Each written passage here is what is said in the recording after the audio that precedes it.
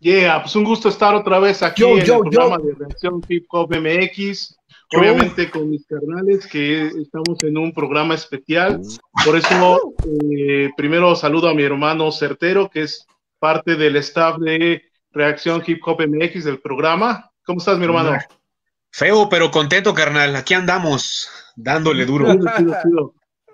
Y mi hermanazo del alma, que este, también es mi compañero de micrófonos los miércoles en el mic, y, también está en mi grupo de aniquilación, mi hermano eh, Calibre 316. ¿Cómo estás, mi hermano? Mi grupo, préstanos tu grupo. ¿Cómo están, gentecita hermosa? Saludos desde Springfield, cuidándonos del bicho, pero con toda la actitud para el programa del día de hoy. Aguas con el Flanders.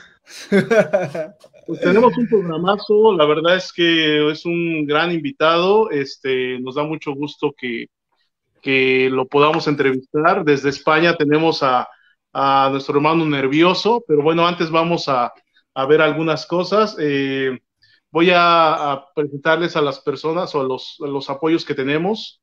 Este, este es Hip Hop Deal.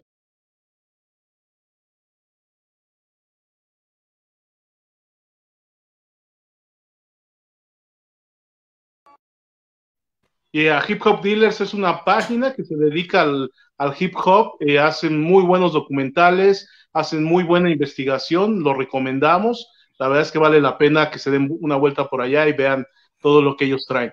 Y también mi hermano El Cuervo, desde allá, desde Plaza Peyote.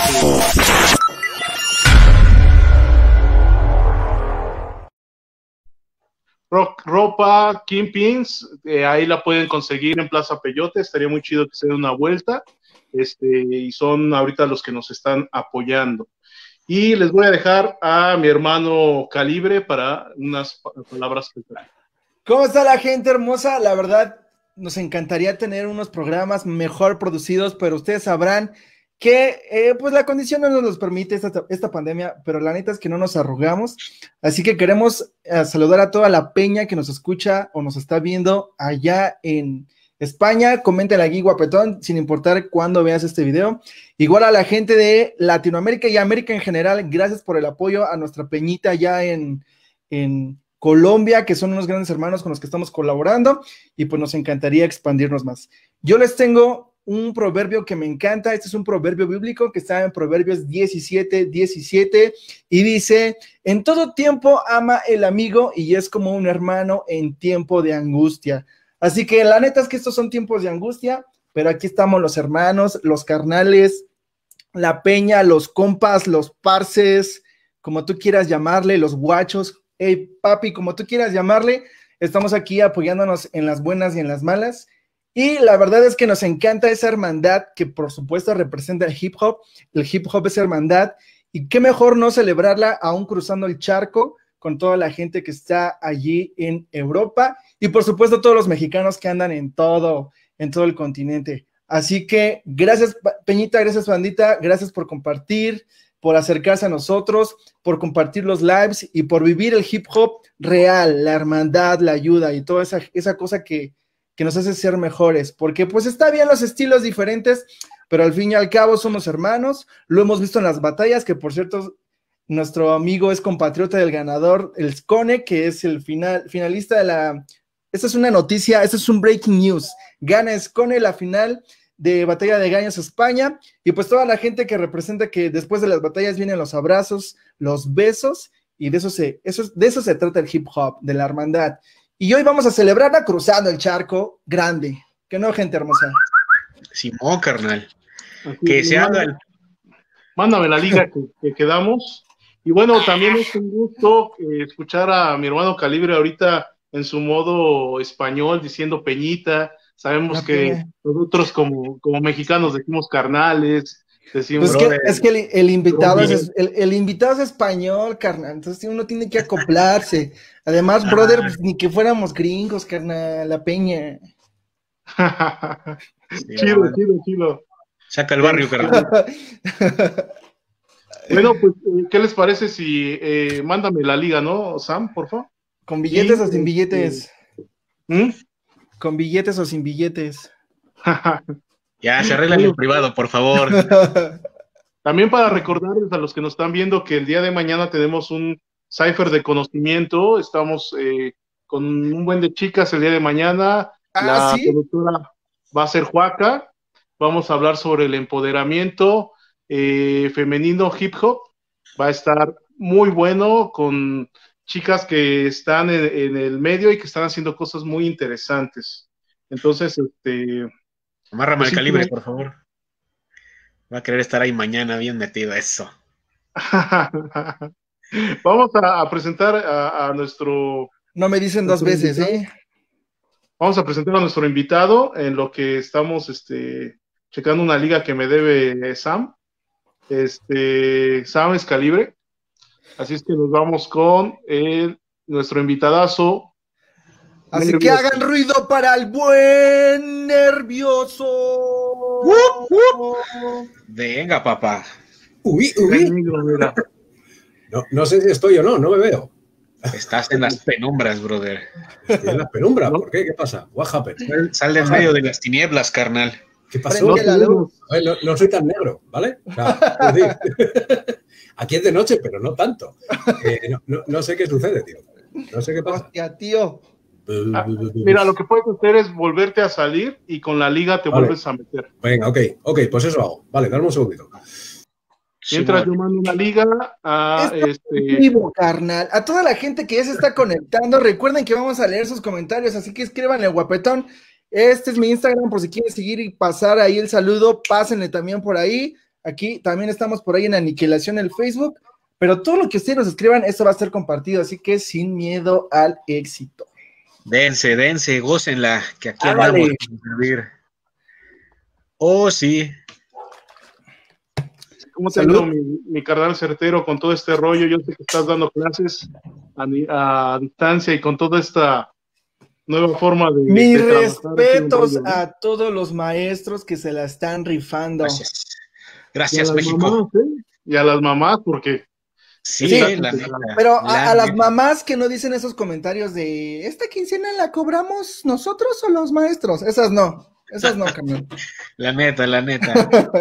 Hola, está mi hermano nervioso ahora sí.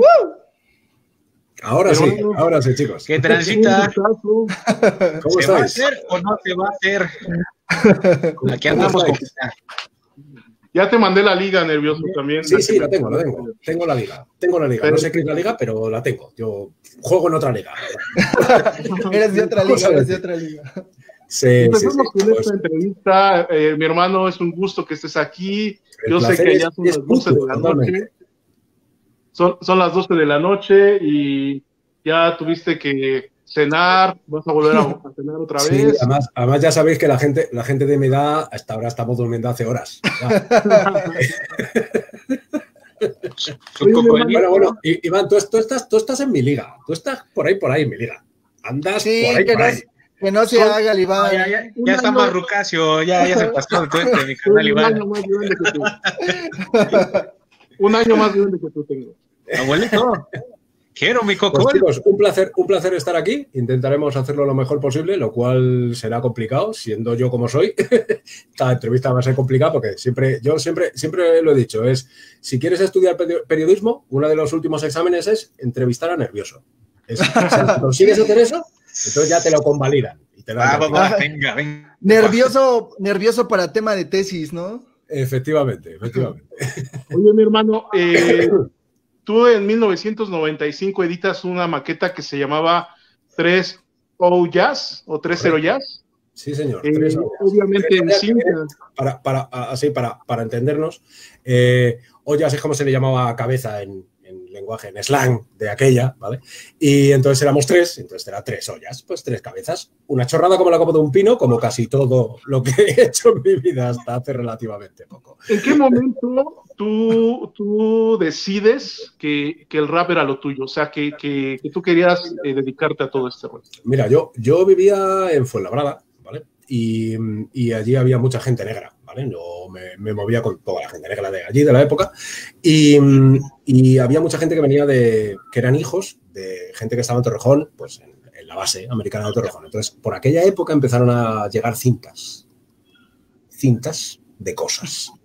Eh, recuerdo que uno de los primeros, como una mixtape así extraña que estaba eh, Cool Modi, eh, Das Effects, no sé, todo el, rap de aquella época, ¿no?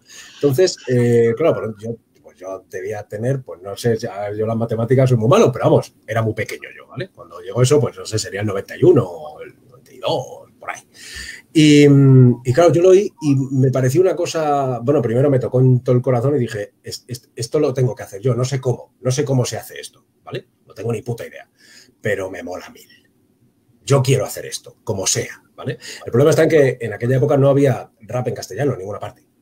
Entonces, lo único en lo que te podía fijar era, eh, bueno, creo que por aquella época, un poquito más, un par de años más tarde, empezó Vico, sí, esta gente, eh, que fueron un revulsivo y estuvo de puta madre, ¿vale? Para inspirar a, a muchos otros que empezamos. Y, y, en aquella época solo tenía rap americano para escuchar. Eh, yo personalmente, a mí hay un disco que me marcó muchísimo del 93, creo que era, que se llamaba Enter the Stage, de un grupo que se llama Black Moon, ¿vale? Que, que a mí ese, ese disco me, me, me, obnubiló hasta niveles impensables. Yo, yo, llevaba, recuerdo que llevaba el tema de How Many MCs, no sé si lo recordáis, How Many MCs must get this? Pues yo recuerdo que me grabé ese tema en repeat, una cinta de 90 por las dos caras, ¿vale? O sea, era la misma canción continuamente durante 90 minutos, ¿vale?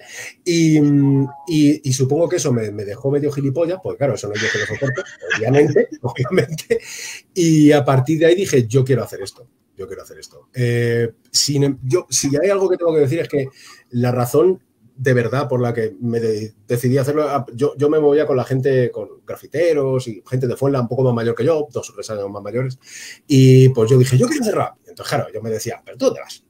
Tienes 12 años, ¿dónde vas? Chaval, me daban una colleja. Normal, yo lo hubiera hecho, yo también me hubiera dado una colleja. Pero gracias a que no creyeron en mí, yo dije, pues sí que lo voy a hacer. Me juego sí, la polla que sí que lo voy a hacer. Y con los años, con los años me he vuelto a reencontrar con ellos y me dijeron, ole tu polla, macho, ole tu polla. Así que sí, por eso fue, precisamente por eso. Pero antes de, antes de escuchar como tu boom del rap que te enamoró, ¿qué escuchabas? ¿Qué, qué escuchaba la peñita que ahorita está escuchando rap? Yo sé, a ver, aquí en España era muy, muy común el, eh, sobre todo el rock. A ver, mi padre es cubano, entonces eh, yo, pues en mi casa se oía mucha salsa, mucha bachata, muchas estas cosas. Claro, claro. Pues, música que a mí personalmente supongo que esto es, está, yo, yo soy padre ya, entonces cuando te haces padre, los que seáis padres lo sabéis, sabes que te dan un libro, ¿vale? Donde pone todas pues las sí. cosas que tienen que pasar, sí, sí, ¿vale? Claro. Pues en este libro ponía, debes odiar todo lo que te enseñen tus padres, ¿vale? O sea, tú tienes que ser lo contrario siempre. Sí, sí, la regla universal, claro. Entonces yo, yo, la salsa y yo no nos llevamos muy bien. No nos llevamos muy bien, supongo que porque la oí tanto de joven que la terminé aborreciendo un poco. Entiendo que es una música como otra cualquiera, yo soy músico, respeto todas las músicas, obviamente, pero a mí la salsa y la, el, el, rollo caribeño no, no, me terminó de entrar nunca. Es una traba que tengo, que le voy a hacer? Eh, entonces, eh, en mi casa se oía mucho Santana, se oía eh, no sé qué deciros, sobre todo rock, rock y estas cosas. Y bueno, en, en, aquella época todos los niños españoles escuchábamos pop rock español. Es lo que había. Claro, lo que había. claro. Hasta que salió Hombre G, entonces era lo que tú odiabas. Pero claro, representaba todo lo que tú no eras, que eran los, los, los, niños pijos de los barrios altos, cuando tú vivías en el extra radio, tenías que jugar al fútbol haciendo la, la portería con dos jeringas, o sea, quiero decir, no era lo mismo, no era lo mismo, ¿vale? Entonces, eh, en, una vez llegó el rap, por lo menos a la vida de, a mi vida y a la de unos cuatro matados más, eh, decidimos que queríamos hacer. Entonces, en aquella época éramos, era muy, muy poquitos, nos conocíamos todos, porque éramos 12 o 13, como mucho. no, no, había nadie que le gustara el rap. Te miraban por la calle diciendo, pero ¿dónde vas con Yo recuerdo que tenía las, las, las Ewin, las Patrick Ewin, estas, las zapatillas con el 33 detrás, que eran gigantescas. Y a mí la, la gente se confundía y se creía que iba con, con botas de esquiar. y yo decía, ¿dónde vas? Con botas de esquiar y era como tú eres imbécil. Pero claro, no podías hacer. No podías. Sí, Oye, carnal, este, nosotros cuando empezamos en estas ondas de, del rap, este, empezamos ahí como, como que ponernos apodillos y cómo me voy a llamar, cómo se va a ver más acá, más fregón, más pesador. Este, y nos ponemos un sinfín de nombres, ¿no? Ahí presumiendo de lo que la neta no tenemos, ¿no? Este, ¿Cuáles fueron tus opciones, carnal? ¿Y por qué al final terminaste como nervioso? Mira, yo creo, creo que esto no lo he dicho nunca en ninguna entrevista, Uy, no sé si lo has preguntado o no, pero uh, exclusive, baby. En exclusiva. Antes de, de, la maqueta esta que comentaba de Tres Ollas, yo, yo tengo una maqueta anterior a esa, Ajá. ¿vale? Que espero que jamás salga a la luz.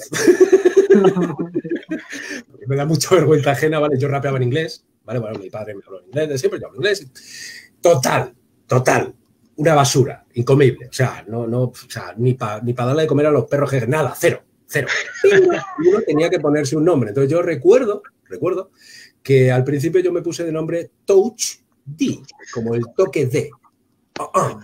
Absurdo, totalmente, ¿vale? No duró nada, ¿vale? Duró una mierda. Entonces salió este disco, que os digo, de, Black Moon Dental Stage. Y recuerdo que yo me, compré el vinilo y en el vinilo venía el logotipo, no sé por qué, venía el logotipo del sello discográfico que lo sacaba, eh, que era Nervious Records, ¿vale? Y como en el, este, esta gente los de Brooklyn y tal, pues se ponían todas las S, las convertían en Z y tal, pues se llamaba Nervious, con F, Simón. con, con Z. Entonces yo dije, "Mm, interesante. La saca. Y de ahí salió nervioso. Lo que pasa es que como yo soy un rayado para temas de números, matemáticas y cosas de estas, pues dije, "Nah, que tenga solo ocho letras no me gusta. No hay ninguna letra en el medio, no hay, no hay, ¿cómo se llama esto? De bilateralidad y testas gilipolleces místicas. Y dije, pues dos zetas como la pizza, a todo por culo. Y esa es tontería. Esa es la chorrada. Simón. O sea que con el nombre ya llevas cuántos años. Pues desde que tengo edad consciente. Yo, si no recuerdo mal, yo creo que mi primer concierto fue en, con casi 14, 14 recién cumplidos, algo así. Sí, que, tenía un, un- amigo, teníamos un amigo común, que Casey era colega suyo también, y, y Casey falló en un bolo que había por ahí por centro de, de Madrid, de aquella, y me llamó, oye, que nada, que, este, que el pobre Javi que no puede, tal, que tiene un problema, a ver si lo puedes cubrir tú. Y yo quedé, vale, supongo, sí, a ver, en aquella época eh, eras como un animador de fiesta, no eras nadie, o sea, daba igual que fuera. Eso, eso daba igual, ¿vale? Entonces, pues bueno, yo tenía mi cancioncilla, pues yo fui ahí, hice mis cosas y tal, y me dieron 10.000 pesetas, sencillas, y, y pues, me quedé encantado. Bueno, tuvieron que mis padres a llevarme, Ajá. ¿no es cierto? Y luego mis padres a recogerme, porque claro, tenía 14 años, obviamente. Pero me los llevé a comer a un resta- a cenar a un restaurante.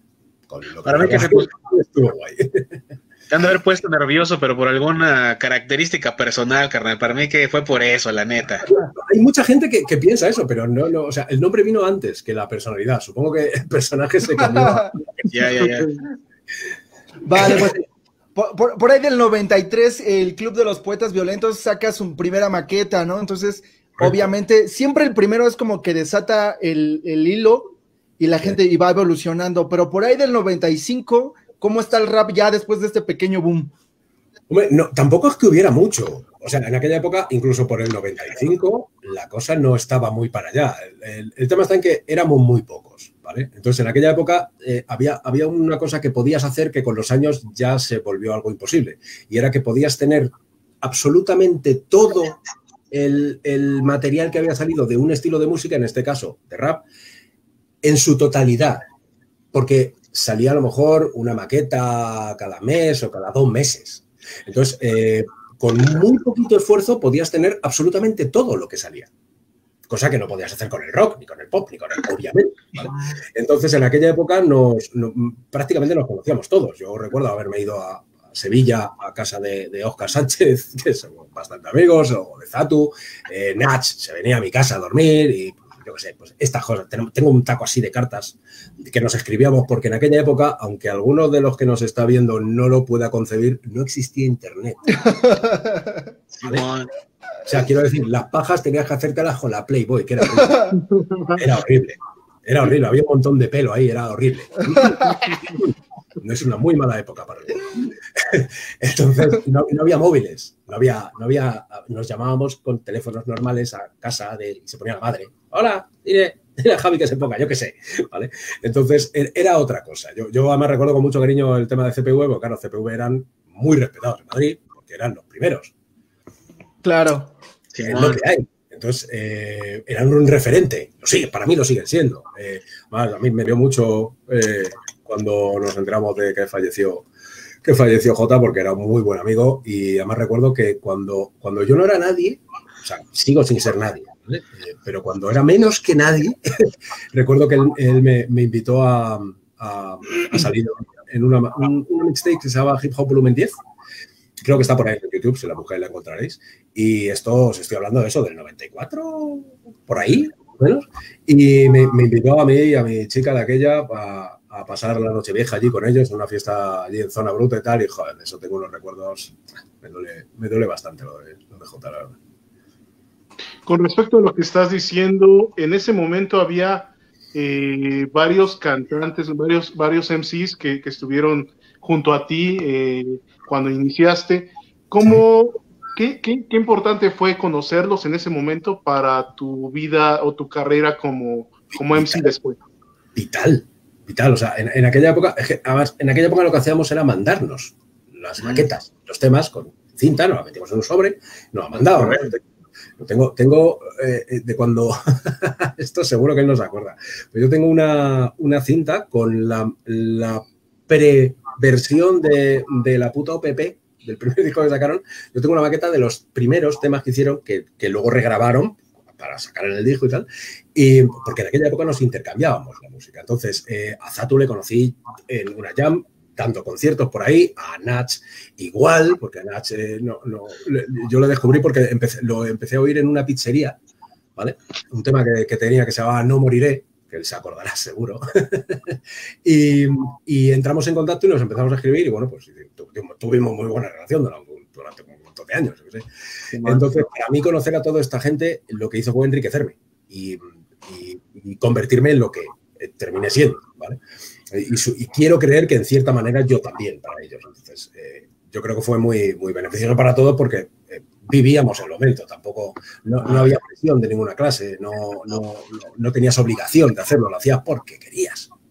Ahora no, ahora, ahora, ahora la música con los años, por lo menos en mi caso, y supongo en mucho de, ellos también, se convierte en, tu, en tu comida. Entonces, ya no es algo que tú quieras, solo lo haces porque quieras hacerlo, sino porque necesitas hacerlo.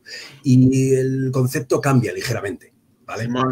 A, estandarizar, el escribir ya no es una cosa maravillosa y mágica que te transporta a otros mundos, sino que se convierte en un trabajo de cajas, en una de ir, hay que, vale, dame un boli, dame un papel, escribo, dame el micro, rapeo y a otra cosa. Entonces, todo ese, ese, ese, momento mágico del principio pues se va perdiendo con la profesionalización, como es evidente, y no puede ser de otra manera, ¿vale? Pero ese momento mágico tienes que hacerlo porque realmente te apetece, porque, porque alucinas con todo lo que te pasa, que no, que no alcanzas a comprender. Todo ese momento es maravilloso. Y el, y el conocer a toda esta gente, pues para mí ha sido vital. estoy completamente convencido de que si no les hubiera conocido, pues no hubiera llegado a sitio donde he llegado, yo creo. ¿Y, había alguno que, en esos momentos eh, te cayera mal, dijeras, lo voy a reventar. Yo, en contra de lo que pueda parecer, eh, yo, si no recuerdo mal, Duoki no tenía beef con nadie. Eh, nos llevamos bien con todo el mundo, yo qué sé, nos íbamos a lo mejor un fin de semana a pasarlo allí con, violadores a su estudio y nos tirábamos todo el fin de semana encerrados, una especie de submarino de humo con, con Rubén el rumba y, nos tirábamos oyendo discos de funk horas y horas y horas. Eh, no, nunca he tenido problemas con nadie. No, vamos, yo personalmente no. Y que yo, a ver, he tenido problemas profesionales con gente, sí, pero fuera de la... o sea, los problemas que he tenido con, con rappers los hemos tenido entre esa persona y yo, ya está. No se entera nadie. Para mí, de, hacer público una pelea, para mí lo único que parece es sacar una especie de cartel de neón de, ¡eh, miradme! ¡miradme! Hago cosas y me peleo. Y me parece un poco absurdo. mis, mierdas las limpio en casa, ¿vale? Que es lo que creo que debería hacer todo el mundo. La ropa sucia se lava en casa, carnal, ¿no? Efectivamente. Entonces, si quieres hacerte famoso por meterte con otro rapper, normalmente no suele salir bien para empezar, no suele salir bien. Yo creo que al único que le ha salido bien es a, ¿cómo se llama este? Al Machine Gun Kelly. Creo que es al único. Al único que le ha salido bien. Le conocían relativamente y como fue el único que le contestó a Eminem, ¡boom! 400 millones de visitas en un PayPass. Entonces yo creo que es el único que le ha salido bien. Simón. Oye, fue por el 96, ¿no? Que editaste la, el Otani ¿Qué significa el nombre, carnal? ¿Y por qué este...? este yo, soy muy cinéfilo. Si, si leéis los, los, agradecimientos que tengo en el disco 21 centímetros, eh, comprobaréis que soy muy, muy cinéfilo. Mucho, mucho. Me encanta, el, me encanta el cine hasta el normal. O sea, no solo del porno, ¿vale? Eh, hasta el normal me gusta. incluso, incluso. Eh, entonces lo de Otanisesa era porque hay una película de Kubrick, clásico, ¿vale? que el niño escribe en la pared Red Ram, que lo ves en el espejo, entonces pone Murder, y eh, que es asesinato, entonces dije asesinato, asesinato, Tanisesa, ¡tadán! ya lo tengo todo hecho. Otra chorrada. ¿Por qué, fue tan importante en España, bro?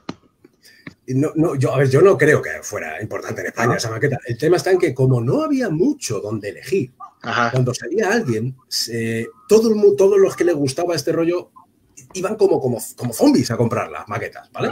Pues había, había solo cinco o seis tiendas, no había más, donde se vendían las maquetas. ¿vale? Eh, eh, estaba Tribu Urbana, estaba Tipo Libre, estaba en, Barcelona gente de Montana y todo este rollo. Y ya está, y no había más. Entonces, eh, yo me sorprendí porque yo, yo creo, he, he, vendido más, más unidades de esa maqueta que de algunos discos que he sacado. ¿Vale? Entonces, no es que fuera especialmente buena, no lo era, pero era una nueva. Y como era una nueva, pues todo el mundo iba a ella. Entonces, eh, aquí, aquí, supongo que allí se ve con, otros ojos. Aquí Otanisesa es, bueno, pues una maqueta más, aunque la he visto que la venden a 300 dólares en, todo colección, que yo me quedo loco, que es como, oye, yo tengo dos, te la vendo yo, quieres. locura, una locura total. Pero, pero sí, aquí, aquí no, no tuvo repercusión en su momento en el círculo, en los círculos de que no movíamos aquí, pero supongo que tuvo un poquito más de repercusión el disco que saqué. El primer disco que saqué sí, sí hizo un poquito más. Un pelín. Claro, como, bien lo decías, en realidad porque era poco lo que había, pues eh, todo el mundo lo quiere, ¿no? Pero al mismo tiempo te acuñas como un rapero del inicio, ¿no? Y entonces... yo, sobre eso tengo, tengo, algo que decir, que, que, que normalmente siempre me, aconsejan que no lo diga, pero a mí me suda la polla porque no tengo problemas. Yo ya no tengo que decorar nada. Entonces, yo, nunca me he considerado un MC con un gran talento. ¿De acuerdo? Em, en, sí, mejores que yo son prácticamente todos los que hay en el país, en mi país. prácticamente todos. Pero estoy aquí desde que los micros eran de piedra.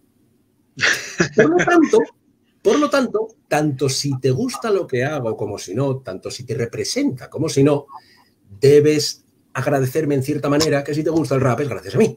Exacto, exacto. Eh, eh, eh, eres una, al fin y al cabo, eres una piedra del cimiento del rap en España, independientemente de que sea pulida o no sea pulida, ahí está, ¿no? Efectivamente. Entonces, yo, yo no, no soy un, en sí de un gran talento, lo que soy es muy constante. Yo doy cabezazos hasta que me parto la cabeza. O tiro el muro o me parto la cabeza, pero algo, una de esas dos es. Entonces, como yo, aunque me decían, ¿dónde vas? Eso no suena bien. Y era verdad, no sonaba bien, pero aún así yo lo sacaba. Y aún con todas las reacciones negativas, volví a sacar otro. Y volví a sacar otro. Y otro más. Y otro más hasta que al final, pues toqué una tecla. Toqué una tecla, pero fue casualidad. No, esto no fue una cuestión de talento. Fui aprendiendo a hacer canciones con los años, pero nunca, yo al principio, yo oigo mis primeras canciones y digo, oye, mío, ¿de qué, ¿debajo de qué piedra me escondo? Sin embargo, hay mucha gente que coge ese disco y lo considera un clásico. un clásico y que ha influenciado a muchos otros de este país y yo como, pues si tú lo dices, guay, a mí me da mucha vergüenza ajena. Pero es lo que hay. Eh, como, como esto lo decía Javi, que si yo decía, no me arrepiento de mis inicios porque ladrillo a ladrillo he construido un edificio y tiene más razón que un santo. Claro, por supuesto. Entonces, por ahí del 97 ya andabas eh, rompiendo las cabezas con el discazo del hombre tema, ¿no? Aunque anteriormente ya estabas sonando con el buen Nach, con el de esta mierda no es real. Pero acá. me, ha sorprendido que allí se oyó mucho, ¿no? Sí. sí, realmente, acá en México fue el que, el que sonó mucho, fue otra victoria. ¿Vale? de, los temas que la rompieron acá y que obviamente, digo, conoces la punta del iceberg y te jalas para todo lo de atrás y entonces empiezas a conocer más del artista, ¿no? Claro. Entonces, ese, tema, ese tema, la verdad es que, a ver, éramos, éramos muy amigos y, joder, pues hacíamos temas juntos. De hecho, el otro día estuve hablando con Gorka, dos hermanos, un saludo desde aquí, por cierto. Saludos, Gorka. Eh, que, es un, que es un grande. Eh, y me estuvo enseñando los temas que, pues claro, yo, yo no sé si fue mi primera o mi segunda maqueta, bueno, una, una de ellas eh, la grabé en su casa, bueno, en casa de su abuelo, concretamente, ¿vale? De aquella. Eh, y claro, Nach venía a Madrid y nos íbamos allí y tenemos temas grabados allí del año, pues ya os digo, o sea, que yo creo que íbamos subidos en un dinosaurio a grabar. del Jurásico. Sí, te lo digo, del Cretácico superior. Y, y me enseñó temas que tenemos. Entonces, Nachi y yo tenemos unos cuantos temas. Luego tenemos el tema este que teníamos con, con SFDK también, que salió en, en el primer, en el primer vinilo que sacó SFDK. Eh, eh, no sé, o sea, tenemos muchos temas, ¿vale? Entonces, eh, cuando yo fui a sacar mi primer disco, quería que, que todos los amigos que tenía, con los que me llevaba de puta madre, pues hiciéramos temas juntos. Entonces, yo, yo si, si no recuerdo mal, corregidme si me equivoco, pero yo creo que lo primero que hizo Nach en un disco fue en el mío. Y lo primero que hizo SFDK en un disco fue en el mío. Luego después sacaron el suyo. Wow, Sí, no mal, ¿eh? wow. No recuerdo mal. Pero vamos, que eso tampoco me cambia también nada. Ellos están a, a un millón de años luz de mí. o sea que no. Pero, no- pero no- esto nace por la hermandad que ya tenía, ¿no? No Claro, fue como sí, que sí, los convencieras, fue porque eran hermanos prácticamente. Claro, era, es que era, ya te digo, éramos tan pocos, por lo menos en aquella época, es un poco, me hace un poco de gracia la pregunta de con qué rapper te llevaban mal. Y era como, no te podías llevar mal con nadie, si. Si te llevaban mal con uno, no habían llegado, ya te quedabas sin amigos. ¿Vale? Entonces, allí nos, nos llevábamos bien todos. Y si podíamos, pues hacíamos rap. Era lo único que queríamos hacer. No, no salíamos de fiesta, no, no, no hacíamos, no nos comprábamos cosas. eh, lo único que hacíamos era pues ir a la tienda de turno, que aquí, bueno, pues aquí era, era Hijos del Sur, donde ibas a comprarte el último disco que hubiera salido de rap del momento, tú y otros tres locos, que era lo que hacíais. Eh, solo hacíamos eso y cuando teníamos un poquito de dinero lo ahorrábamos para poder movernos de ciudad y grabar unos cuantos temas con nuestro colega y no esperábamos que fuera a suceder nada. Vamos, por lo menos yo nunca esperé que eso fuera a desembocar en una carrera. Eh, para mí era, lo hacía porque, me- porque era mi hobby y me, me gustaba hacerlo, pero para mí era como aquel que le gusta al gimnasio o, o hacer maquetas de barcos, en- en- no sé, para mí era divertido, pues era mi, mi manera, mi, mi jugar a la videoconsola, ¿vale? Mi jugar a la videoconsola era ponerme a buscar temas y a ver cómo podía hacer, aprender cómo se podía hacer música en- con el Windows 3.11, antes de que saliera el Windows 95, y era, todo era un mundo, pero todo era maravilloso, entonces, no sé, era, una, gran, una gran época para mí. Sí. Pero, pero la de otra victoria fue así para nosotros, bueno, para muchos mexicanos fue así Sí, ¿no? impresionante. o sea, fue escuchar a Nach, escucharte a ti, esa colaboración estuvo muy, muy buena, ¿eh? muy buena. Muchas gracias, muchas gracias. Sí, y, y pasaba lo mismo que decías, cuando hay poco, lo que está, independientemente de que lo consideras bueno o malo, lo poco que hay lo apreciabas Lo- mucho, lo porque cuando, exactamente, porque en cuanto haces clic y dices, esta droga es mía y ya no hay más, pues la atesoras, ¿no? Y estás ahí, Y, y escucha coges, y y, escucha. y allá donde haya de esa droga, te la intentas coger toda la que haya, aunque no te guste. Exacto. Sí, encuentras más, empiezas a escarbar más del artista y dices, ah, este, este, este, este, este. ¿no? Hombre, yo, yo tengo, ¿Qué tengo muy buenos recuerdos, muy buenos recuerdos de, de allí de México cuando fuimos allí de gira. Eh, joder, me sorprendió muchísimo porque, a ver, aquí, pues, discos, pues bueno, salimos, hicimos el programa este del MTV y tal, pues aquí yo estaba relativamente acostumbrado pues a que te paren por la calle, te pidan una foto, te pidan un autógrafo, algo común, ¿vale? Pero claro, vas a otro país y no es lo que esperas. Ajá. Pues cuando nosotros íbamos por allí, por las calles de México y por, por el DF, y la gente nos paraba para pedirnos fotos y autógrafos, era como, ¿A poco sí, no? ¿qué ha pasado aquí? Aquí hay, hay una cámara. no nos lo terminábamos de creer. Y la verdad es que que te, que te muestren el amor de esa manera tan bestia es, es cojonudo. Yo estoy encantado. Sí, Nos vamos, a ir, nos vamos a ir con tu primer video que vamos a ver, pero antes vamos a, a leer aquí unos saluditos. Eh, right. ahí está Manuel Esponda, que está desde, desde que empezó el, el streaming. Eh, gracias, hermano. Aquí dice, es todo un honor poder estar escuchando esta entrevista. El honor es mío, Manuel. El honor es mío. Y también cuando dijo que, que cuando tú dijiste que si, que si no eras bueno, eh, que no, no te consideras el mejor, ahí te, te contestó, ¿no? Que es como un, por supuesto. Ah, ok, ok. Brandon, también hay un, un saludote de, de Last Chance, que también es uno de los eh, que van a entrar como sponsors nuestros. Ok, y bueno, Brandon. pues vamos a irnos con el primer eh, video, Las de Perder, eh, junto con este FDK y el... Joder, el claro, pero chico me, de pones, me juego. pones ese tema, me pones ese tema en el que salen unos en sí que me dan una paliza de espanto y me dejan a la altura del betún, pues vale, empezamos, vale, empezamos. ¿Quién Agárrense, agárrense que atrás? Esto. Eh, nervioso, ¿quién les hizo los diseños de atrás? Están súper buenos. Eso lo hizo, lo hizo una gente con la que hicimos ese videoclip. La verdad es que quedaron, no solo quedaron espectaculares, sino que como un año después, algo así, me mandaron un videoclip de un grupo de rap alemán que lo había copiado. al, milímetro. O sea, plano por plano, con los mismos fondos, las letras, solo que en alemán, ¿vale? Pero todo igual. Y fue como, bueno, supongo que cuando te copian sabes que lo estás haciendo bien, ¿no? Si hasta que no te copian no, no te lo puedes creer, pues ahora ya sí. Un gran tema, por cierto. Estamos platicando con Nervioso, allá son las doce y media de la noche aproximadamente. Ya son la una. La. Aquí son las seis de la tarde, así es que nos vamos con las de perder junto con SFDK y el chico de fuego. Nervioso. Ahora.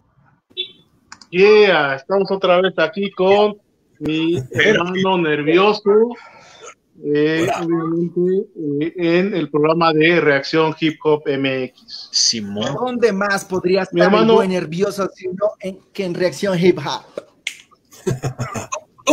1998 es la asociación con Locus eh, para hacer un proyecto como tal.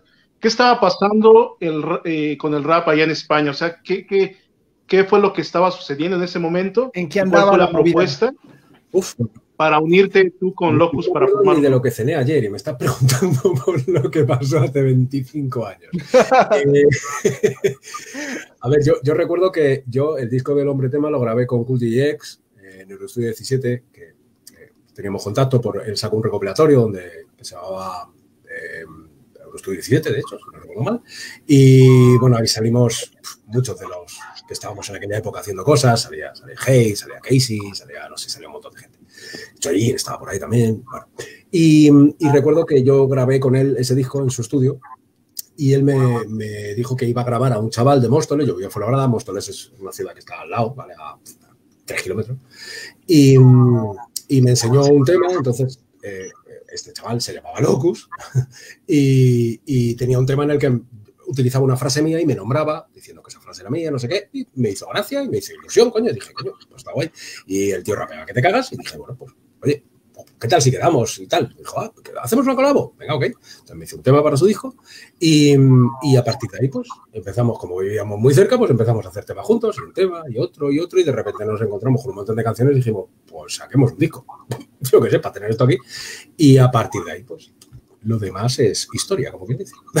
Es ponte, ¿Y siempre fue todo hardcore o fue de otros estilos? Mm, sí, generalmente sí. A ver, yo a mí, a mí me gusta la música que te haga sentir, ¿vale?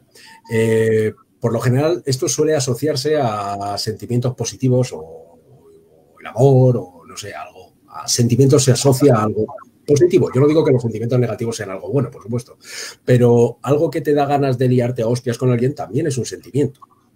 Malo, pero un sentimiento. Entonces, a mí me gustaba la música que, te daba ganas de levantarte de la silla y hacer algo. No sé, lo que sea. ¿Vale? Entonces, el, amor era, era el jardín del pop. O sea, es decir, ya había un tipo de música que le cantaba al amor. Y ese era el pop. ¿Vale? Entonces, yo no quería cantarle al amor.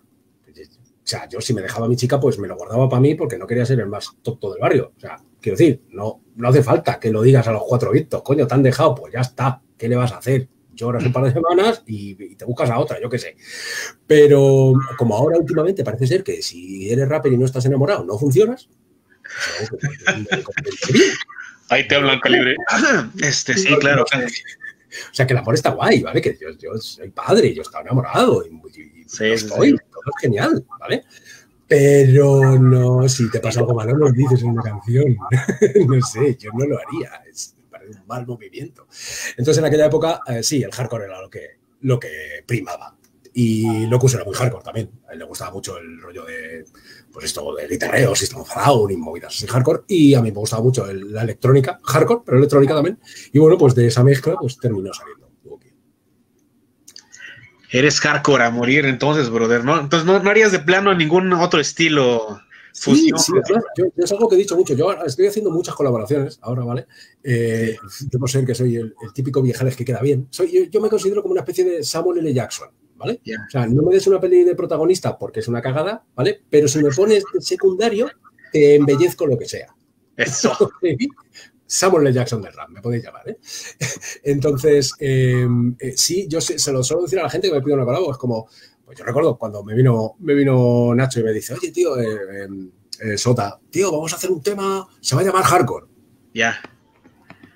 Y fue como, ¿Seguro? Juego en casa, tú sabrás. O sea, sácame de mi zona de confort. Sí, bueno. Que puedo Oye, hacer. que lo que haga no es nada hardcore, ¿no? Tengo, o sea, el hardcore lo sé hacer, ¿vale? O sea, créeme, lo sé hacer. Pero puedo hacer otras cosas. De hecho, eh, me, ha- me- me ha salido un montón de trabajo, sobre todo ahora estoy haciendo muchas cosas de doblaje para publicidad, anuncios y tal, porque Dios tuvo a bien de darme esta maravillosa, dulce y aterciopelada voz, ¿de acuerdo? ¿Qué le voy a hacer? Es así, nací con ella, no me la voy a quitar. Eh, y, Sí. y hice una cosa que se llama CDC para el Club de Creativos. No sé si lo habéis visto. Si no lo habéis visto, recomiendo que lo busquéis, porque es otro registro total y absolutamente distinto. También hice eh, el tema este con Bagheera en el, en el Bloody Halloween, eh, que también es otro palo total y absolutamente distinto. Entonces, si poder puedo. Lo que pasa es que es como, quiero algo hardcore, hmm, llama nervioso. Entonces es como, vale, ok, ok, ¿qué le vamos a hacer? Simón, entonces tu estilo es hardcore. Y en sí, ¿por qué te, te asentaste ya así de, de plano, de lleno en hardcore, bro? Oye, yo te, te voy a ser sincero, ¿vale? Eh, a mí me empezó a atraer el mundo del hip hop en general. Me pareció un movimiento súper original, súper enriquecedor, ¿vale? En todas sus facetas. Y yo no sabía cómo, pero yo quería estar en ese mundo. No sabía en qué parcela exacta, pero quería estar. Entonces probé a hacer- a- con el graffiti. Probé. Y a ver, nunca más. Con No falta era lo de mío. ¿no? no era lo mío, créeme. Eh, pro- probé también a, a el breakdance, lo probé, claro, claro, obviamente lo probé. Sí, bueno. Dos contusiones después y casi por perder una muñeca, dije, tampoco es lo mío. Esto es así. Y me di cuenta de que con el maravilloso cuerpo escultural esculpido en mármol de Apolinio Mancebo griego, puedo levantar un boli. Un boli sí. Ya más de un boli no, pero un boli sí, ¿vale? Entonces le- me dio por levantar un boli. y, a, y a partir de ahí, Dijiste, lo que- oh, sí, oh, sí, cómo vale, dice, oye, pues esto del insulto se me da bien. Me voy a dedicar profesionalmente a ello. Ok. Está excelente. Ahora que veíamos el video, veíamos como todos los estilos, el estilo característico de Sato que ha adquirido por los años de o camiseta o algo muy pegadito, de repente usa gorra, de repente ya no. Si, si vemos a otras personas, la gorra, la, la gorra con la posición típica, ¿no? La, la cadena y los lentes oscuros, porque sea. Pero vemos tu pinta un poquito diferente de las demás. ¿A qué Sí, viene? puedes decirlo, puedes decirlo, desfasada, lo puedes decir, no pasa nada. Yo lo sé, yo lo sé. Yo sigo Pero- vistiendo como cuando tenía 15 años. ¿A qué, a qué viene ahora tu, tu pinta? Porque pues el estilo de la gorra de ladito, incluso un poquito más grande de lo, de lo que pudiera estar nuestra Sí, cabeza. para, poder tapar- para poder taparme las cejas. Como tengo unas cejas así eh, ¿vale? Pues entonces me las tapo y, y- y parece que estoy más guapo. ¿vale? Aquí le decimos de azotador, carnal. Sí, aquí, aquí se nos llama de ser Mazinger ceja. ¿eh? Sí, sí, sí, al final del día y al final de todo este, ¿qué, qué tratas de comunicar con tu pinta? Por supuesto, característica tuya, ¿no? Porque No, déjame decirte que nosotros acá en México, no te puedo responder. O sea, sé que me gusta esta ropa porque es la que, la que me definió cuando era un jovenzuelo. Y como no tengo puta idea de otra cosa, pues es la única. O sea, yo pantalones solo tengo Dickies. Ya. O sea, en el fondo, cuando fui, iba a México me decían, pero viste como un chulo, cabrón. y yo, bueno, sí, pues, sí, Aguas, aguas. digo, sí, o sea, quiero decir que, yo llevo de esto siempre. ¿Vale? Y es como, no vengas a pe- pegar carteles a mi cuadra, Holmes. Entonces, al parecer, me he visto como un cholo. Aquí no, aquí he visto como un quinceañero. Es así. Ah, vale. Sí, más años que, que el abuelo de Matusalén, pero visto como quinceañero. Sí.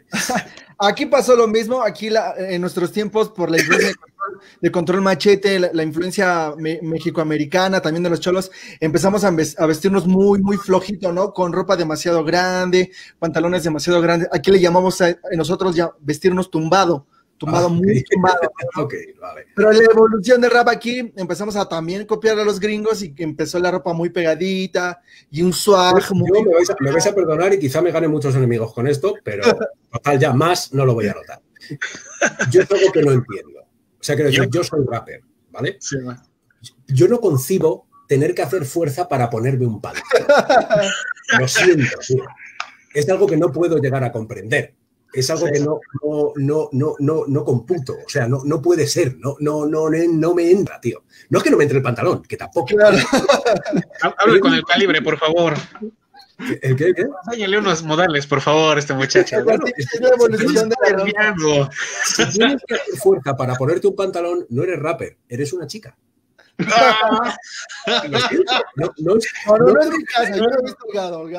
No, no, es, por ofender, pero de verdad, las chicas visten apretado y así debe ser y que siga siendo muchos años, ¿vale? Pero los hombres no.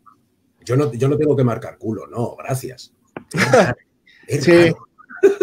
Y, fíjate que, fíjate que eso, esto ha puesto como en, controversia ahora los stream clothing, porque ya no saben si serle fieles al inicio que era así súper tumbado o, adaptarse como a la nueva generación. Entonces empiezan a mezclar que entre sí flojito, en que entre sí muy apretado.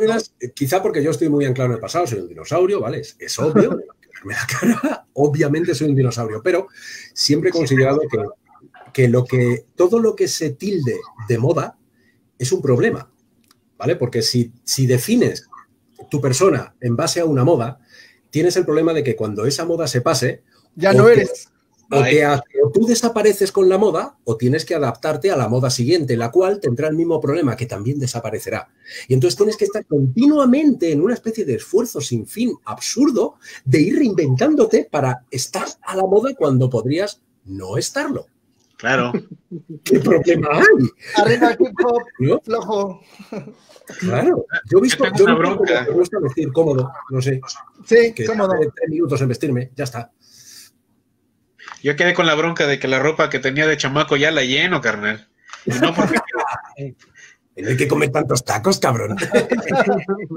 arriba los tacos, arriba los tacos. Nos vamos a ir con, con los saluditos. Aquí está mi hermano de Circo La Nación. ¡Eh, ¡Uy, se llegó ahí! ellos fueron los que lo trajeron la otra vez a Duokie. Entonces ahí está mi hermano Diego viendo la transmisión. Saludos a Un saludo, un saludo enorme, tronco. Está este Manuel Esponda todavía. Eh, dice que tu estilo está muy chido. Me gusta estar chido siempre. Eso. Desde Monterrey, eh, Lunatax. Eh, Lunatax a Monterrey. Sí, señor. Eh, aquí también nos da, nos dicen que desde Jalisco nos están viendo uh. este, nuestro hermano Alejandro. Eh, un saludo. Manuel Esponda dice que ya son casi 40 años y sigue tumbado. O sea, como debe ser, Manuel. Ah, eh, incluso nuestro ataúd tiene que ser muy grande, ¿vale? que, que entres tú y dos o tres tías, por lo menos. y acá bien plaqueado, carnal, alrededor del ataúd todo placoneado, ¿no? La neta. Y aquí la parte que nos dice Alejandro, que las modas nacen y mueren, ¿no? Es que esa, es su, esa es su única razón de ser, existir en un breve lapso de tiempo. Ya. Sí, además generan mucha basura por la ropa que solo suena con una puesta. En cambio, los, los raperos tenemos playeras desde el 1800 y mira, en cuidado con la, con la serigrafía ya, ya mira. Ya bien corroída. no te importa, no te importa, porque es. La, perforación en la axila, ¿no?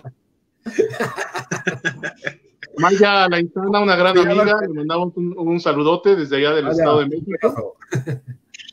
Y bueno, eh, eh, nos vamos con, la, con el otro video, certero. Vámonos. Pues Simón, vámonos a, disfrutar un poquito más de este rap, de este carnalito.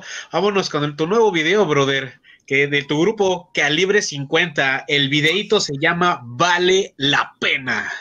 No sé si quieras decir algo sobre este video. Este, sí, bueno, luego hablaremos de ello. Sí, ¿no? Tengo, eh, lo, lo rodamos mientras mi compañero de grupo, Blaca, que es además uno de mis mejores amigos, em, se tatuaba, eh, vale la pena, en el estudio de tatuaje de Joel Malasangre, otro gran saludo para él. Em, y lo grabamos allí, bueno, se ve en el videoclip, ahora lo veréis, cómo se tatúa y eso, y la verdad es que fue, el primer videoclip que sacamos como formación, y bueno, luego hablaremos de Carve 50, no hay problema, no hay problema. Vámonos. Entonces estamos nervioso en reacción. ¿Dónde más si no reacción hip hop? Vámonos.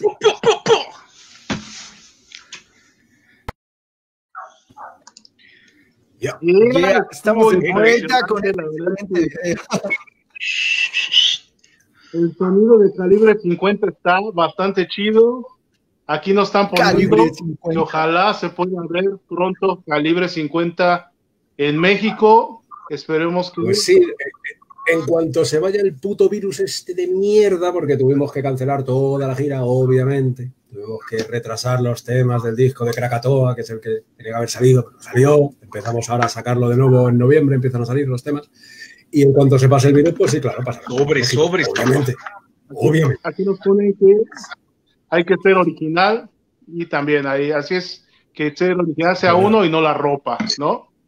Estamos de Sí, acuerdo. señor. Sí, eso lo decía, lo decía yo en una letra que nervioso no se preocupa de su aspecto, yo me preocupo de mis clocks. El rap es esto. Aquí está también Escobar King, eh, la buena, y ahí la, la rola buena. Yes.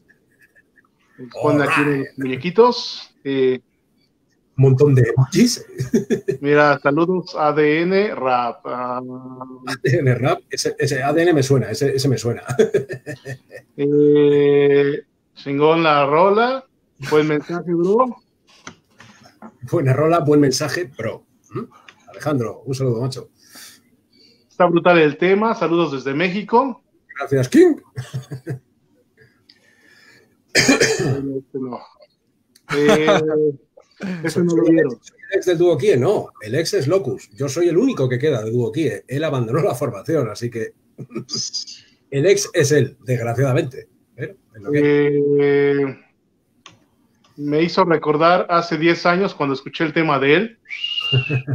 Uh, uh, Eh, Piola volver a verlo. yes. Eh, ok.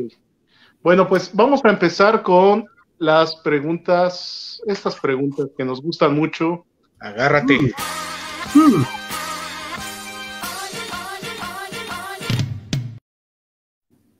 Tienes 30 segundos para responder, mi hermano. Eh, son preguntas rápidas. Entonces, para que no te vayas ahí como No me jodéis, si yo soy, si yo soy un chapas. Soy- Vamos a darle 10, vamos a darle 10.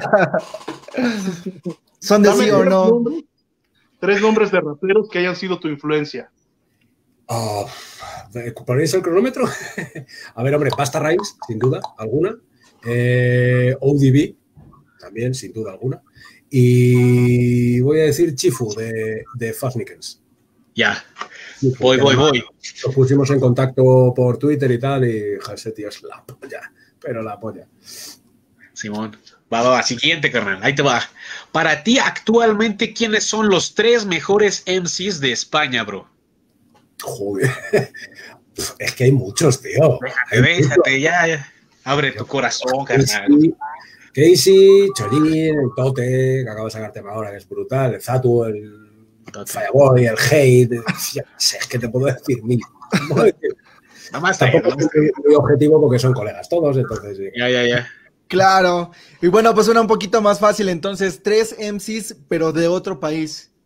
Pues de otro país. Um, no, ¿De ahora? ¿Pueden ser de cuando sea? Eh, Sí, Mira, a mí me gusta mucho Snack the Reaper, por ejemplo. Snack the Reaper, no solo como en sí, sino su carrera en general, me flipa. Me flipa muchísimo. Tech Nine me parece un portento lírico.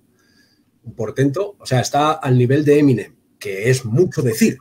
que es mucho decir, porque Eminem te podrá gustar más o te podrá gustar menos, pero eh, tiene el don. O sea, lo que hace ese hombre líricamente no hay nadie sobre la faz de la tierra que se le acerque, excepto Tech Nine. Ok, ok. Yes. Hermano, eh, dos canciones favoritas de Nervioso y por qué. A ver, eh, um, Cual plomo al vento es uno de mis temas favoritos. Y como rapeo mío, te diría que el mejor flow que he sacado en mi vida a mi gusto es en Dinamita. Mi trozo de Dinamita, estoy orgulloso de él y lo estaré hasta que me muera. Va, va, va. Excelente. Siguiente, carnal, agárrate. A De ver. todas las colaboraciones que has hecho, ¿cuál y con quién sientes que ha sido la mejor colaboración, carnal? Pero claro, esa pregunta es un poco trampa, porque la mejor colaboración, ¿en qué sentido? ¿En que yo me he quedado más guay con ella? ¿Con que el Sí, tema sí, ha quedado mejor? ¿Con No. que el otro ha quedado mejor? ¿Cuál es la- Tú, tú, tú. Hola. ¿Tú con cuál te has sentido a gusto, carnal? Que digas Oh, chulada de rolas, chulada de colabo.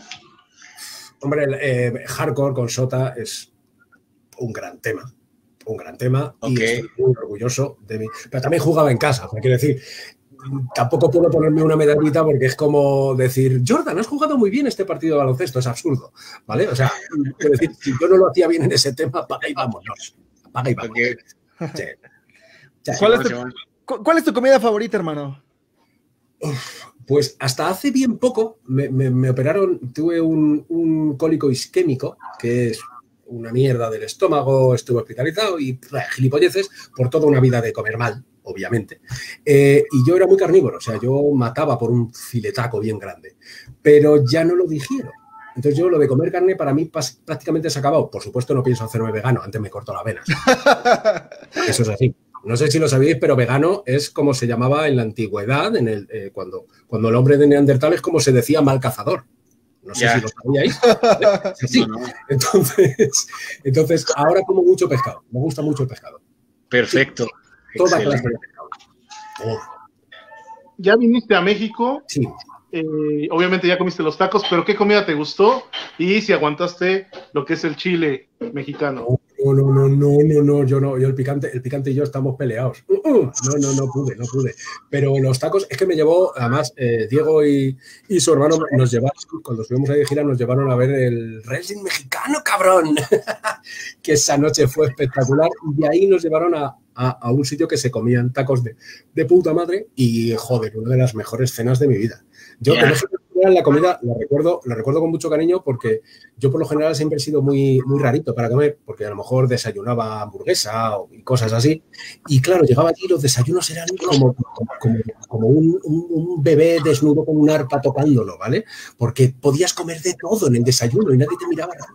Maravilloso. ¿Vale? Desde Sí, Oye, quisieras. Tenemos que armar entonces la rola comida hardcore, papá. ¿eh? La- Sí, yo he dicho, yo, yo soy hardcore hasta durmiendo, ¿vale? Eso. Sí, yo, yo, soy- me ducho hardcore, me ducho con aceite hirviendo. Lo loco. Mientras no sea de oliva, carnal, porque si no. Oye, carnal, No, no, por Dios, que, que soy una mujer. No, no tú sabes este, 250, ¿no? WD50, sale. ¿Qué piensas del rap mexicano, bro? ¿Cómo andamos Pues, los mexicanos en el rap? Descubrí, descubrí muchas cosas que no conocía que me fliparon. Bueno, eh, eh, de lo poco que he escuchado, porque empecé a escuchar después de, venir, de volver de México, pero ahora, por ejemplo, que además se lo comenté a Iván el otro día, eh, eh, ¿cómo se llama? Am, joder, no lo voy a decir. No lo voy a decir. Eh, Santa Fe Clan, ¿no? Santa Fe Clan, eso es, Santa Fe Clan, que lo empecé a escuchar y la verdad es que el, el cabrón le da duro de cojones, de cojones. Y la gente de Círculo de la Nación, que también me gustan mucho. Y yo lo que pasa es que yo vengo de otra época, pues eso, contra el machete y todas estas cosas que había del, del cholo, güey, cabrón. Y, y la verdad es que en México se están haciendo unas cosas muy, muy, muy interesantes. Claro. Muy interesantes, ¿vale? Eso, hay que tener un ojo, o sea, eh, eh, desde nuestro prima, ¿vale? Vosotros empezasteis un poco más tarde que, que- que los españoles, Sí. Pero nos estáis cogiendo una velocidad, si es que no nos habéis pasado ya, a- acojonante. Acojonante, ¿vale? O sea, quiero decir, el nivel lírico que había antes en el rap mexicano estaba ligeramente o un poco más por debajo de lo que estaba el castellano. Pero esa, esa diferencia ya no existe. O si existe, estamos nosotros por debajo, ¿vale? Entonces, eh, el, el rap mexicano ahora mismo está muy cachas, muy, muy cachas, te lo digo. te lo Va, digo. va, va. Ahora, eso es, eso es lo que tú piensas, tenemos tu perspectiva de qué piensan los, de que tú piensas del rap, pero ¿cómo se ve por allá? ¿Cómo está sonando el rap mexicano de ese lado? ¿Qué, qué- qué- qué dice, qué dice España y, y los MCs españoles acerca? preguntarle eso porque yo soy, soy como una especie de ermitaño, soy como el, el maestro de Kung Fu de Kill Bill, ¿vale? Con una barba gigante en su montaña, ¿vale? Yo, yo no, no suelo salir de casa, no oigo mucho rap. También es que tengo, entre los muchos defectos que tengo, hay uno que es que mm, pierdo la personalidad en un parpadeo, ¿vale? Entonces, cuando estoy en proceso de escribir para un nuevo disco o nuevos temas, no puedo oír nada de rap en castellano, porque termino rapeando como lo que oigo, ¿vale? Entonces, y a veces de repente pongo una frase que no me doy cuenta de que la he oído en otro y creo que me la he inventado yo. Entonces, para prevenir eso, que ya me ha pasado, para prevenir eso, intento hacer eh, eh, cuarentena de rap en castellano, ¿vale? Entonces, yo, yo es que no oigo mucho rap. Aquí, yo, yo sinceramente, todos mis amigos oyen rap, pero yo soy el que menos rap oye de mis colegas. No, no, y, tienes, mucha razón en lo que dices, porque fíjate que lo que pasó cuando México empezó a consumir rap español, ya estaba, imitaban la, la respiración del Satu. Entonces ya era, ya era como, y, nosotros entendemos, mira, mucha gente no le gustó el rap español porque prácticamente era una poesía con un beat de fondo, ¿no? Mientras que aquí en México, por estar pegados con los anglos, era como muy y un boom más muy tremendo, ¿no? Y entonces llegan, llegan los violadores con algo muy, muy, muy fluido, muy levecín, pero obviamente, pues certero, como el buen certero. Como el plomo. Exactamente. Entonces, eh, México se topa con esa disrupción de que, oye, esto no es gringo ni es boom pero suena suculento, ¿no? Entonces te decía, empiezan a, hablar español como Nach, a, imitar la respiración del Sato eso, y también, todo. Eso también, eh, eh, en, su nivel también pasó aquí, ¿eh? Mucho muchacho tuvo un disco entero que lo rapeó en mexicano. y es catalán. Sí, sí, y utilizaba palabras en todo el disco como eh, rola, eh, chido, y en todo el disco. Y era como, Oliver, ¿por qué? si eres catalán, no tienes de comer en casa o qué show, ¿no?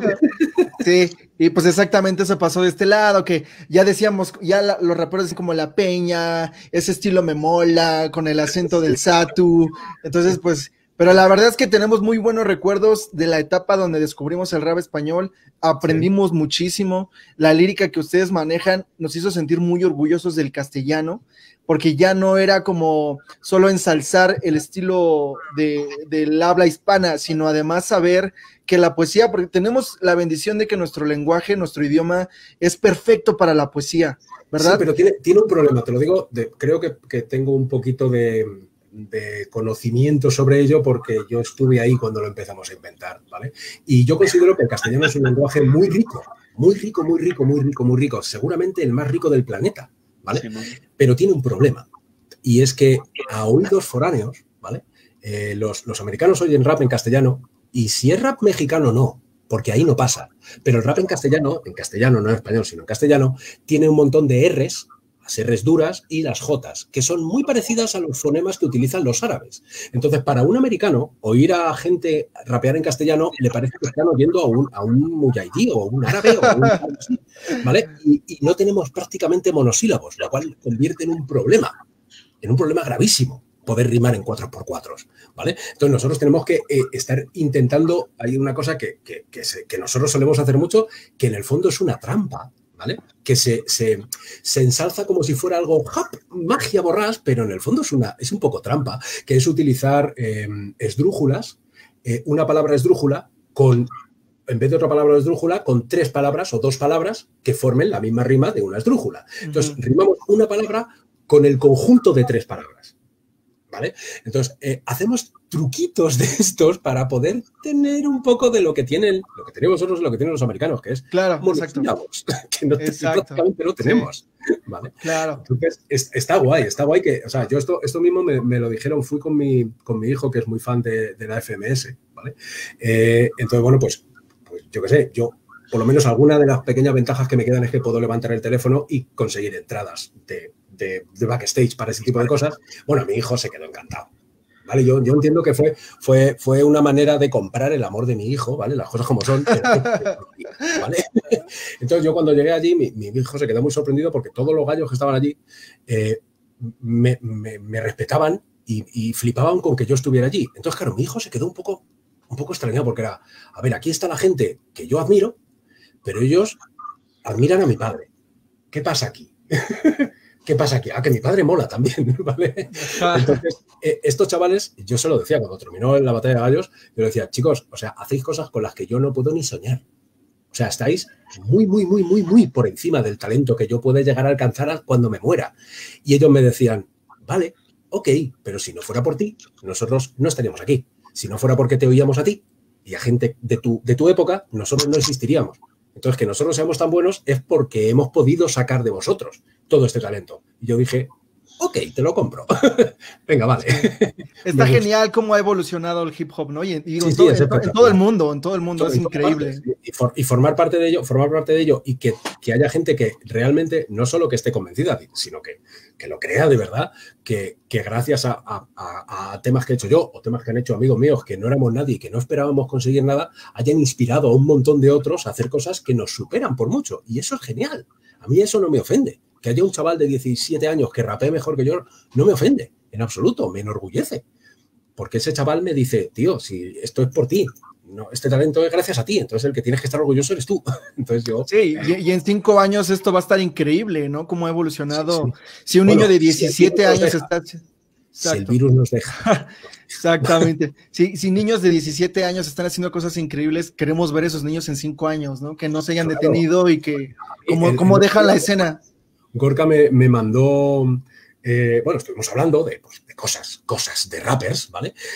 Y para hacer una colabo para su nuevo disco y me decía que dice, que dice, oye, te quiero poner con un chaval que es así, dice, a ver, es muy jovencito y tal, pero que yo creo que, uff, que vais a pegar que te cagas y tal. yo, vale, digo, bueno, pues mándamelo. Entonces me lo mandó y es que lo estoy buscando aquí en la conversación del WhatsApp, un segundito, así puedo decir el nombre que tampoco quiero, quiero que, que parezca que otra cosa. NFX se llama el chaval, ¿vale? Es un chaval, es un chaval, o sea, yo tengo cuarenta y pico palos, este chaval debe tener 17, 18. O sea, tiene un flow el cabrón, ¿vale? Que ha sido como, vale, sí me hago la colabo, pero me va a dejar a la altura del betún. es así de simple. Y, joder, a mí no me ofende. Joder, me enorgullece, es genial. Es como, claro, hagamos la colabo, tío. Coño, claro, of course. no tengo problemas con eso. No tengo problemas. Excelente. Vamos a también otra vez con eh, algunas cosas que nos están poniendo acá. Eh, obviamente, Manuel nos habla acerca de cuando la parte de bañarse con aceite hirviendo. ¿Pero qué pasa? ¿Que tú no, Manuel? Aquí Manuel nos está recomendando a de Gallo, que también es un rapero de acá de, México bastante bueno. Sí, sí, bastante, bastante bueno. Y sí, exactamente lo que dice NFX es muy bueno. Es un animal. ustedes pero ustedes como españoles, ¿cómo identificarían que es un mexicano solo con escuchar la introducción? ¿Hay algo, algo característico que tengamos los mexicanos? Mm, uf, no lo sé. Hombre, todos fumáis un montón. Por lo menos, si nos referimos a hoy en los temas y todo es de fumeque. Yo, yo, yo fumo tabaco nada más no por nada, es que me operaron del pulmón, entonces no es que no quiera. Yo es que, de todas maneras, le doy una cara a un porro y me tiro así muñeco 15 días. Entonces no, no me sale rentable. Eh, y soy muy nervioso como mi propio no me indica, entonces no, no, lo de fumar no se me da bien. No se me da bien. Em, pero sí, parece ser que, que, lo del fumar se extiende mucho por allí, por México, lo cual me parece genial. La, mayoría de mis amigos fuman y yo no tengo problema con eso, en absoluto. Aquí nos pone eh, Juanma, que es de un otro programa, que lo mandamos a saludar. Este, que, bueno, nos desea mucho eh, éxito en, nuestra entrevista. Este, a ver si después te pasas también a ese canal, mi hermano. Está muy chido, Poninas TV. TV. Y bueno, aquí eh, nos dice Oscar Patrón que cuando viniste a México, te firmaste el disco. Jesús, pues tuviste, pues te comiste una cola cojonante, porque ese, eh, eh, hicimos creo que tres firmas de discos allí y en las tres alucinamos, tío, porque nos llevaron del hotel allí y cuando llegamos había una cola, pues, o sea, daba la vuelta no al edificio donde estaba la tienda, daba la vuelta a toda la manzana y volvía y llegaba hasta el principio de la tienda otra vez. O sea, no sé, a lo mejor había 300 personas para firmar y era como, a ver, tengo prisa, o sea, puedo estar aquí toda la tarde, de falta, que de hecho estuvimos, pero era como, o sea, qué, qué, fervor, qué locura, flipamos, la verdad es que flipamos. Así que sí, si, si, te firmé algo, enhorabuena, eres un tío con una paciencia infinita. Vamos a ir con otra canción eh, de calibre 50, que la verdad está bien padre tu, tu nuevo grupo. Eh, se llama Virus. Eh, ¿Puedes hablarnos de, esta, de este? Sí, la verdad es que nos adelantamos a nuestro tiempo, como veis. Nosotros es que lo sabíamos ya. Nosotros ya lo sabíamos y pues eso, pues fue culpa nuestra. No, hicimos, ya saben, a sus perfiles de nervioso. ¿El, qué? ¿El qué? Que sobre los perfiles de nervioso, ellos tuvieron la culpa del virus. Vámonos. Efectivamente, sí, pueden echarme la culpa a mí, total, ya. Em, que, este tema lo hicimos porque eh, eh, nos dio por pensar a, a Black y a mí que, recuerdo viendo la película de Matrix, que hacían una analogía entre el ser humano y los virus. Y nos parecía muy acertada, porque los virus lo único que hacen es reproducirse, a consumir todos los recursos naturales que tienen e irse a otra zona para terminar de joderla. Y en el fondo, si lo piensas, desgraciadamente el ser humano es así. Nos estamos cargando absolutamente todo. Cuando estábamos en el modo cazador-recolector hacíamos exactamente lo mismo. Lo, jodemos todo aquí, cuando aquí no queda nada, lo movemos aquí y así continuamente. Entonces, eh, nos gustó la analogía del ser humano como un virus y pues de ahí salió ese tema. Y hicimos el estribillo con Strauss, que era, era un buen amigo y que lo bordó. Calibre 50, mi hermano nervioso con virus. Estamos una en balada, una balada. MX. Vámonos. Ya estamos de vuelta en Reacción Hip Hop. Era una, una baladita, ¿eh? una, una, baladita. Como suavecita. Sí, sí. Seguimos con unas preguntas rápidas, este, igual 30 segundos, que se han extendido a 5 minutos, pero vámonos. lo siento, os lo he dicho que soy un tapas. Ah, te pone bueno, carnal, está chido. Pues, pues, ya que nos has hablado acerca de las batallas, ¿has participado en batallas y contra quién? Eh, no. No es, no, es algo, no es algo que yo haya tenido talento para hacer jamás. Además, yo recuerdo que que Tote, eh, coincidió con Tote muchas veces en, muchos festivales, muchos bolos, y, me lo decía, me decía, tío, si lo único que te deja hacer, y dice, yo, yo, a mí me pasaba como a ti, me daba mucha vergüenza, y Casey también me lo decía, dice, tío, solo te da vergüenza oírte a ti mismo de las gilipolleces que vas a decir.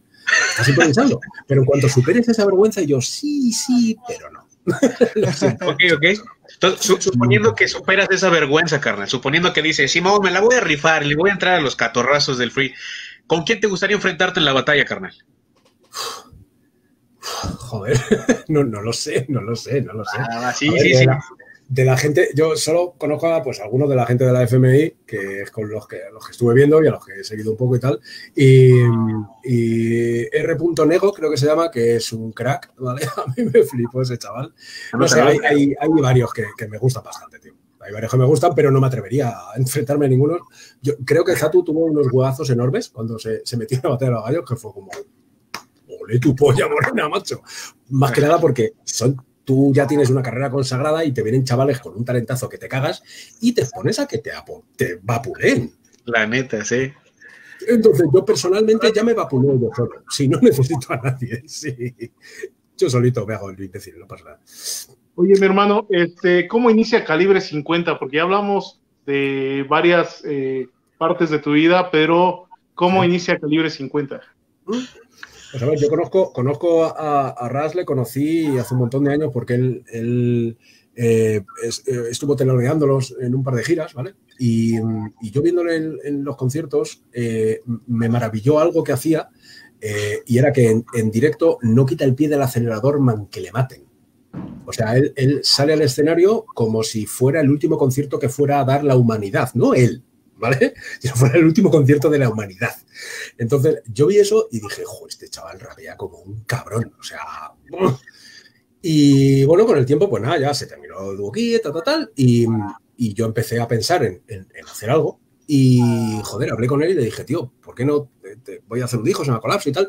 Vente en la gira para hacerme de corista. Y me dijo, ah, vale, pues encantado y tal y le hicimos unos cuantos bolos y, joder, después de unos cuantos bolos con él, de ver cómo funcionaba, porque las, eh, el, montar algo con alguien, por lo menos para mí, no, no es solo eh, lo bien o mal que lo haga, ¿vale? Eso cuenta, obviamente, pero tienes que pasar muchas, muchas, muchas, muchas horas con esa persona, ¿vale? Carretera, furgoneta, hoteles, pruebas de sonido, etcétera, etcétera. Entonces, eh, tener una, una, persona con un talento que te caga, pero que es un gilipollas, es un problema. Es un problema porque tienes que estar lidiando con un gilipollas un montón de, horas de tu vida, de cada día, ¿vale? Y Ras es una, a nivel calidad de persona, ¿vale? Es, enorme, es gigantesco. Entonces, eh, pues nada, hablé con él y dije, tío, pues, eh, me dijo, oye, haz un tema para, para, lo que voy a sacar yo. Yo, venga, va. Y le dije, oye, pues, tío, ¿por qué no hacemos un par de temas y probamos a sacarlos? yo qué sé, y vemos si la cosa funciona. Ok, y sacamos esto, el tema que habéis puesto de vale la pena es uno de ellos. Sacamos ocho temas o algo así. Y a partir de ahí, pues nos empezaron a llamar para hacer bolo, para no sé qué, y fue como, vale, ok, pues vamos a hacer un disco. Entonces, este disco es el de Krakatoa, que hemos sacado ya unos cuantos temas, y ahora en noviembre sale el siguiente, que tú lo has oído, Iván.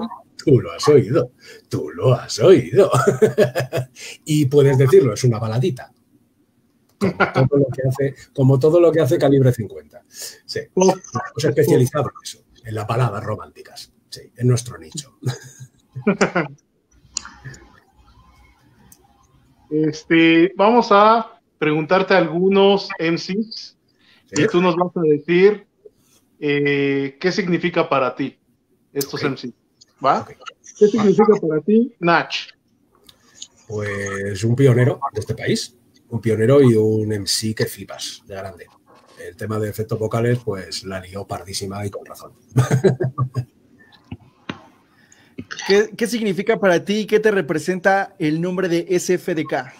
Eh, pues siempre fuentes de conciencia, siempre, siempre, wherever, wherever. A ver, yo empecé prácticamente con ellos y, aparte del máximo de los respetos, eh, han conseguido eh, evolucionar su estilo de música y de rap hasta cotas que no se podían ni imaginar en este país. Eh, Oscar seguramente mm, junto con Griffith podría decir y otro más por ahí quizá, pero no sé si incluso eh, es el mejor productor de este país. Ok, ok. Sánchez es lo que hay. Es, si quieres un beat eh, perfecto, te lo tiene que hacer Acción Sánchez. Es así. y Zatu es seguramente uno de los mejores tres MCs de este país lo que él ha conseguido con su sobriedad y su y sobre todo como es, como es de calidad de persona, eh, es algo que la mayoría de los demás en sí no podemos alcanzar. Excelente. Entonces, ahora, brother, ¿qué te manifiesta el nombre de Chojin? Pues Chojin, aparte de un gran amigo, eh, también uno de los, de los MCs de este país que ha conseguido eh, evolucionar su música y hacer lo que él quería hacer de una manera que todo el mundo podía escuchar. O sea, porque yo entiendo, lo, que yo hago no es para todo el mundo. Yo, no puedo ir a tocar al hormiguero, yo no puedo... O sea, mi música no es música para, para todo el mundo, como es obvio. Es, evidente, no, no es algo que me preocupe, pero, no me, pero, pero sé que es así. Sin embargo, Chojin ha conseguido hacer lo que siempre ha querido hacer y además que es una de las personas con las que he tenido las conversaciones más interesantes de mi vida. A ver, Chollín es, una persona con, un cerebro gigantesco. Gigantesco. como yo, como él normalmente suele estar tratando pues con profesores de universidad y gente así, ¿vale? Es amigo de una de las pocas exobiólogas que existen en el país. Wow. La exobiología es el estudio de las posibles formas de vida extraterrestres. Por eso hay una persona que es una experta y es amigo de él. ¿Vale? O sea, él se mueve en ese nivel de cerebros, ¿de acuerdo? Y como yo leo mucho, leo mucho de ciencia, de biotecnología, de, muchos campos, eh, yo recuerdo más de un concierto en lo que nos hemos quedado encerrados hablando, pues eso, sobre las distancias mesurables del universo y sobre mm, el, ¿qué, gas será el que hay en Júpiter. Si realmente si realmente es la, la, ¿cómo se llama? La, joder, la, ahora voy a quedar como un inútil, la, esto de, la, gravedad, la gravedad no podría ser entonces exactamente igual que en un planeta con otro tipo de gas helio y nos hemos tirado con conversaciones así hasta que nos han dicho, chicos, que tenéis que salir a tocar. ¿Vale? Y, recuerdo en un concierto con SFDK que nos quedamos encerrados en el camerino y claro, cuando nos llamaron, salimos y dijimos, eh, eh, él a mí y yo a él, oye, vamos a decir que estábamos hablando de tías. O, no sé, porque si decimos que estamos hablando de exobiología, nos van a, nos van a meter en un puto manicomio. sí, un grande, Chojin es un grande. ¿Qué significa para ti violadores del verso? Bueno, pues un referente de este país, yo qué sé. Eh, son muy amigos y, es, que, es que, a ver, ¿qué se puede decir de violadores del verso? El póker de Ases. Todavía me acuerdo, hubo un concierto mítico aquí en España en el 97, puede ser, 98, por ahí, eh, que tocamos eh, Mucho Muchacho, yo eh, y Violadores del Verso cuando todavía no eran Violadores del Verso. Es decir, iban a tocar Bufunk, que era el grupo de Hate, eh, eh Squad, que era el grupo de, David, de Lírico, y, y Casey. y se hacían el primer tema que tenían en la maqueta de Bufán, que era Violadores del Verso, que se llamaba El Póker de Ases, ¿vale? Y, en ese concierto, ese concierto fue mítico, mitiquísimo, en la Sala Apolo de Barcelona. Yo creo que, tiene que haber por ahí carteles todavía, ese concierto fue... Uh, uh, uh, uh. Sí, hombre, sí. Grandes amigos y grandes referentes también.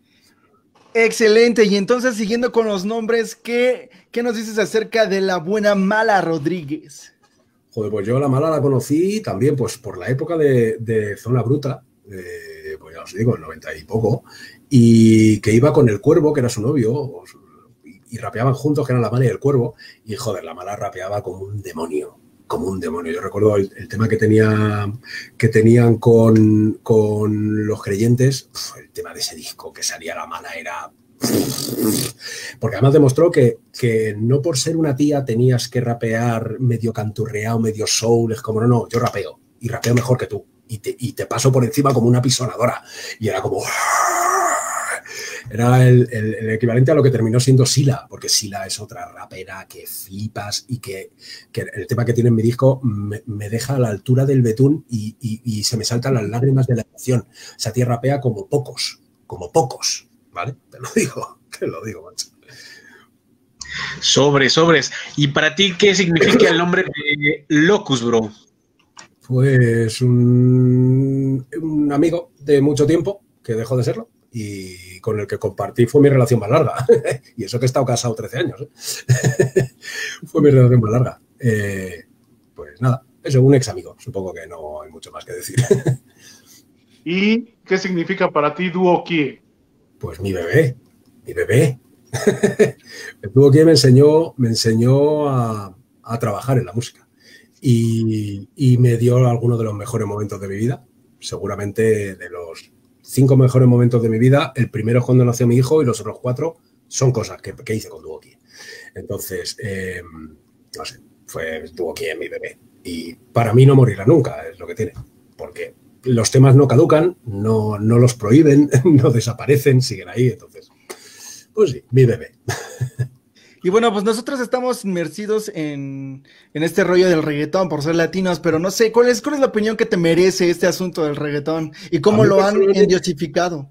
A mí personalmente me pasa una cosa parecida con el trap, ¿vale? Eh, el reggaetón, o sea, el dembow en sí mismo es un ritmo ultrapotente, megapotente. De hecho, pega para el hardcore que te cagas, ¿vale? claro, claro. Bien hecho que da que te cagas. Pero me pasa lo mismo que con el trap. El problema no lo tengo ni con el reggaetón ni con el trap como estilo musical. Lo tengo con la gente que rapea encima. ¿De acuerdo? Eh, o sea, Machine Gun Kelly rapea encima de trap, pero rapea como, como un demonio salido del averno. ¿De acuerdo? Entonces eso me gusta. O sea, a mí en el fondo me da igual lo que tengas de fondo mientras rapees. Como si tienes una polca, me da igual. ¿Vale? Si tú rapeas, pues te respeto y me flipa. Si en vez de rapear lo que haces es soltar conceptos hacer una estrofa de cuatro frases que repites cinco veces todo el rato en la canción como si fuera un estribillo, pero resulta que eso no es el estribillo, porque el estribillo es dos palabras que repites aleatoriamente con un eco, para mí no estás rapeando, estás haciendo otra cosa, que lo respeto como música, pero no me, a mí no me llega. A mí no me llega. Entonces, eh, ahí el, el reggaetón es, me pasa un poco como con el flamenco, es algo que respeto como músico, pero que como no entiendo, perdón, como no es un, tipo de música que no, no alcanzo a comprender, no es que no pueda, pueda decir que, me, que, es, es, mala o es buena, es que no la entiendo. No, como no la entiendo, no puedo criticarla, ni no puedo decir que es mala, porque no la entiendo. Entonces, a lo mejor es buena, pero yo no lo sé. No soy para opinar de ello. Entonces, no, es un nicho que a, mí me, que a mí me emocione, pero entiendo que hay, hay, gente que hace reggaetón que flipas y hay gente que hace trap que flipas. Y lo respeto igualmente. No son músicas que yo escuche, pero, pero están ahí y tienen su nicho. Es genial. Excelente. Este muchacho, Calibre ya quería cambiar ahí de, giro. Ya, ya quería, ya quería dedicarme al reggaetón y al trap. como si tienes un acordeón debajo.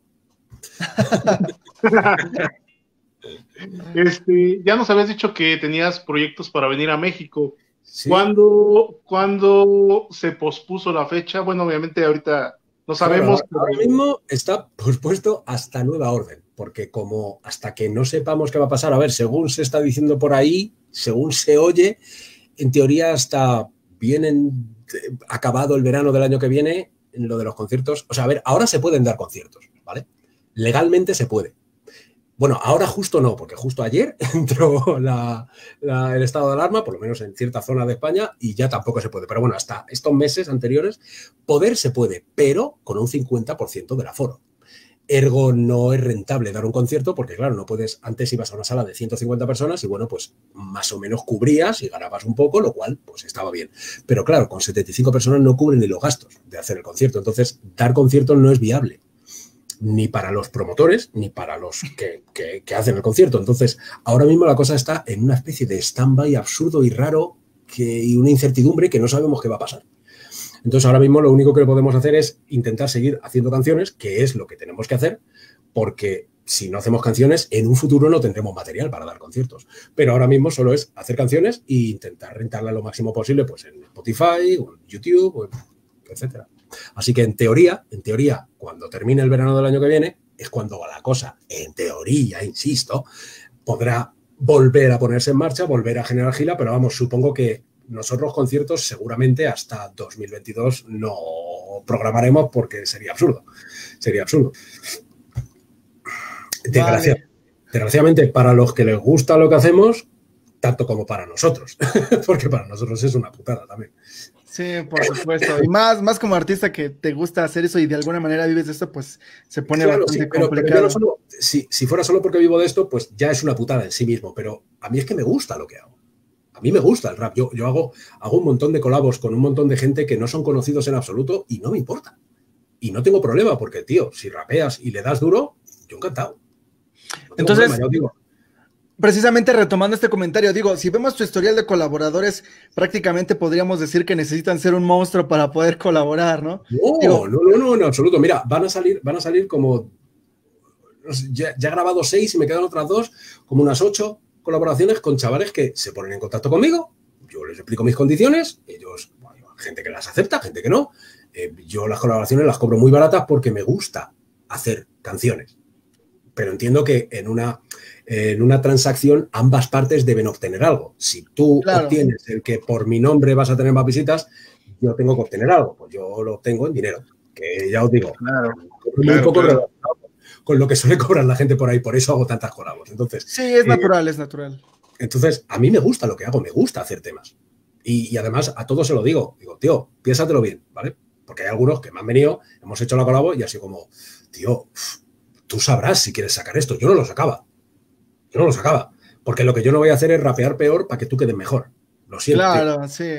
Lo siento, macho. Si tienes que esforzarte más, esfuérzate más tú. porque yo, para mí, cada, cada. Yo me juego el título en cada párrafo. O sea, si hago una colaboración de mierda, con un rapeo de mierda, eso se va a quedar ahí para siempre. Y va a haber un rapeo de mierda mío por ahí. Entonces, yo no permito que eso suceda. Yo, cuando hago una colabo, saco todo lo que tenga dentro y me hago un letrón, intento sacar un estilazo que te cagas porque sé que, aunque sea una colabo pequeñita que a lo mejor no tiene mucha repercusión, eso va a estar ahí. Y se va a quedar ahí para los restos, eso jamás se podrá borrar de internet. Entonces, yo no me la juego, yo intento hacerlo lo mejor posible siempre. Lo siento, tío, si tú no lo haces también, o no hagas la colabo, que nadie te obliga, nadie te obliga, o tío, si la vas a hacer, ponte las pilas. Claro, la otra persona debería tener el criterio de saber si está listo o no, ¿no? Independientemente de que sí se pueda, que, no se pueda. Es un problema que yo veo mucho últimamente y es que eh, el autocriterio es algo que se gana con los años, ¿vale? Eh, no puedes llevar muy poco tiempo y tener autocriterio, eso está peleado, es imposible, es, inviable, ¿vale? Pero tienes un problema, porque o no tiene, porque yo, yo escucho temas de gente, no, no, colaboraciones conmigo, sino temas, gente, chavales que hacen temas y los cuelgan, eh, digo que yo lo oigo y digo, esta persona no tiene nadie que le aprecie. Ya no digo que le quiera, ¿vale? Pero nadie que le aprecie y que le diga, tío, que a ti te podrá sonar muy bien, ¿vale? Pero cógete tu tema, tu canción, búscate tres o cuatro canciones del mismo estilo, de ese rollo de otros, y te las pones y comparas. Y cuando hayas hecho eso, entonces di, sí, estoy al nivel o Jesús, vaya cacho de cagada. Pero si no, si no hay nadie que te aprecie lo suficiente como para decirte que hagas eso, es que no tienes amigos, tío. O sea, si tú haces una canción de mierda, que eres tú el único que no sabe que es una canción de mierda, para eso tienes a gente a tu alrededor que te dará una colleja y te dirá, tío, no, no, no, tío, no saques esto, porque lo que saques se va a quedar ahí para siempre. O sea, eso no se borra, ¿vale? Pero no lo hacen. Y, y, veo Peña que saca videoclips con un escacho de mierda. Ya es que no digo ni de canciones, porque es que no son ni canciones. Es que creen que pueden rapear, porque como rapear en teoría es como hablar, pues parece fácil, pero no lo es, en absoluto. Rapear mal sí, es fácil. Rapear bien no. Entonces ellos creen que rapear, da igual si es bien o mal, es rapear. Es como... Mm, mm". Entonces yo oigo gente que hace canciones que no sabe hacer canciones y las saca con, supongo que con toda su ilusión, que eso no se lo quita a nadie. Pero qué triste que no tengas nadie que te diga, tío, ¿qué haces? No, mal, mal. Haz un bien a la humanidad y guárdate, ¿no, carnal? Claro, o sea, no, resérvate. O sea, las pruebas en casa y con Coca-Cola, que puede decirse, ¿sabes? Es como, ya cuando lo haga bien, ya sí, eso ya saca algo.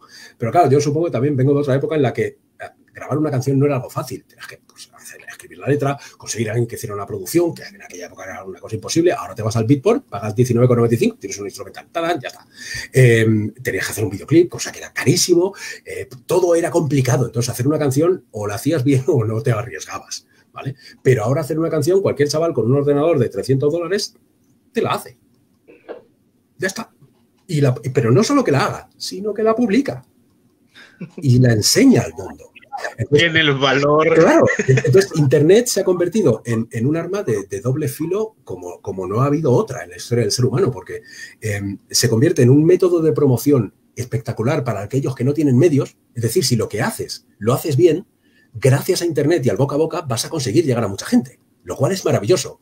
Pero por el contrario, también ha facilitado que gente con cero talento, creyendo que su talento es infinito, inunden el mercado con una cantidad de mierda infumable que hace que la gente joven crean que eso es música. Y es un problema porque afecta a generaciones eh, posteriores. Es decir, mi hijo, por poner un ejemplo, él oye lo que oigan los demás pues lo que digan sus amigos del cole, lo que le recomienden, lo que le diga el YouTube, como es lógico.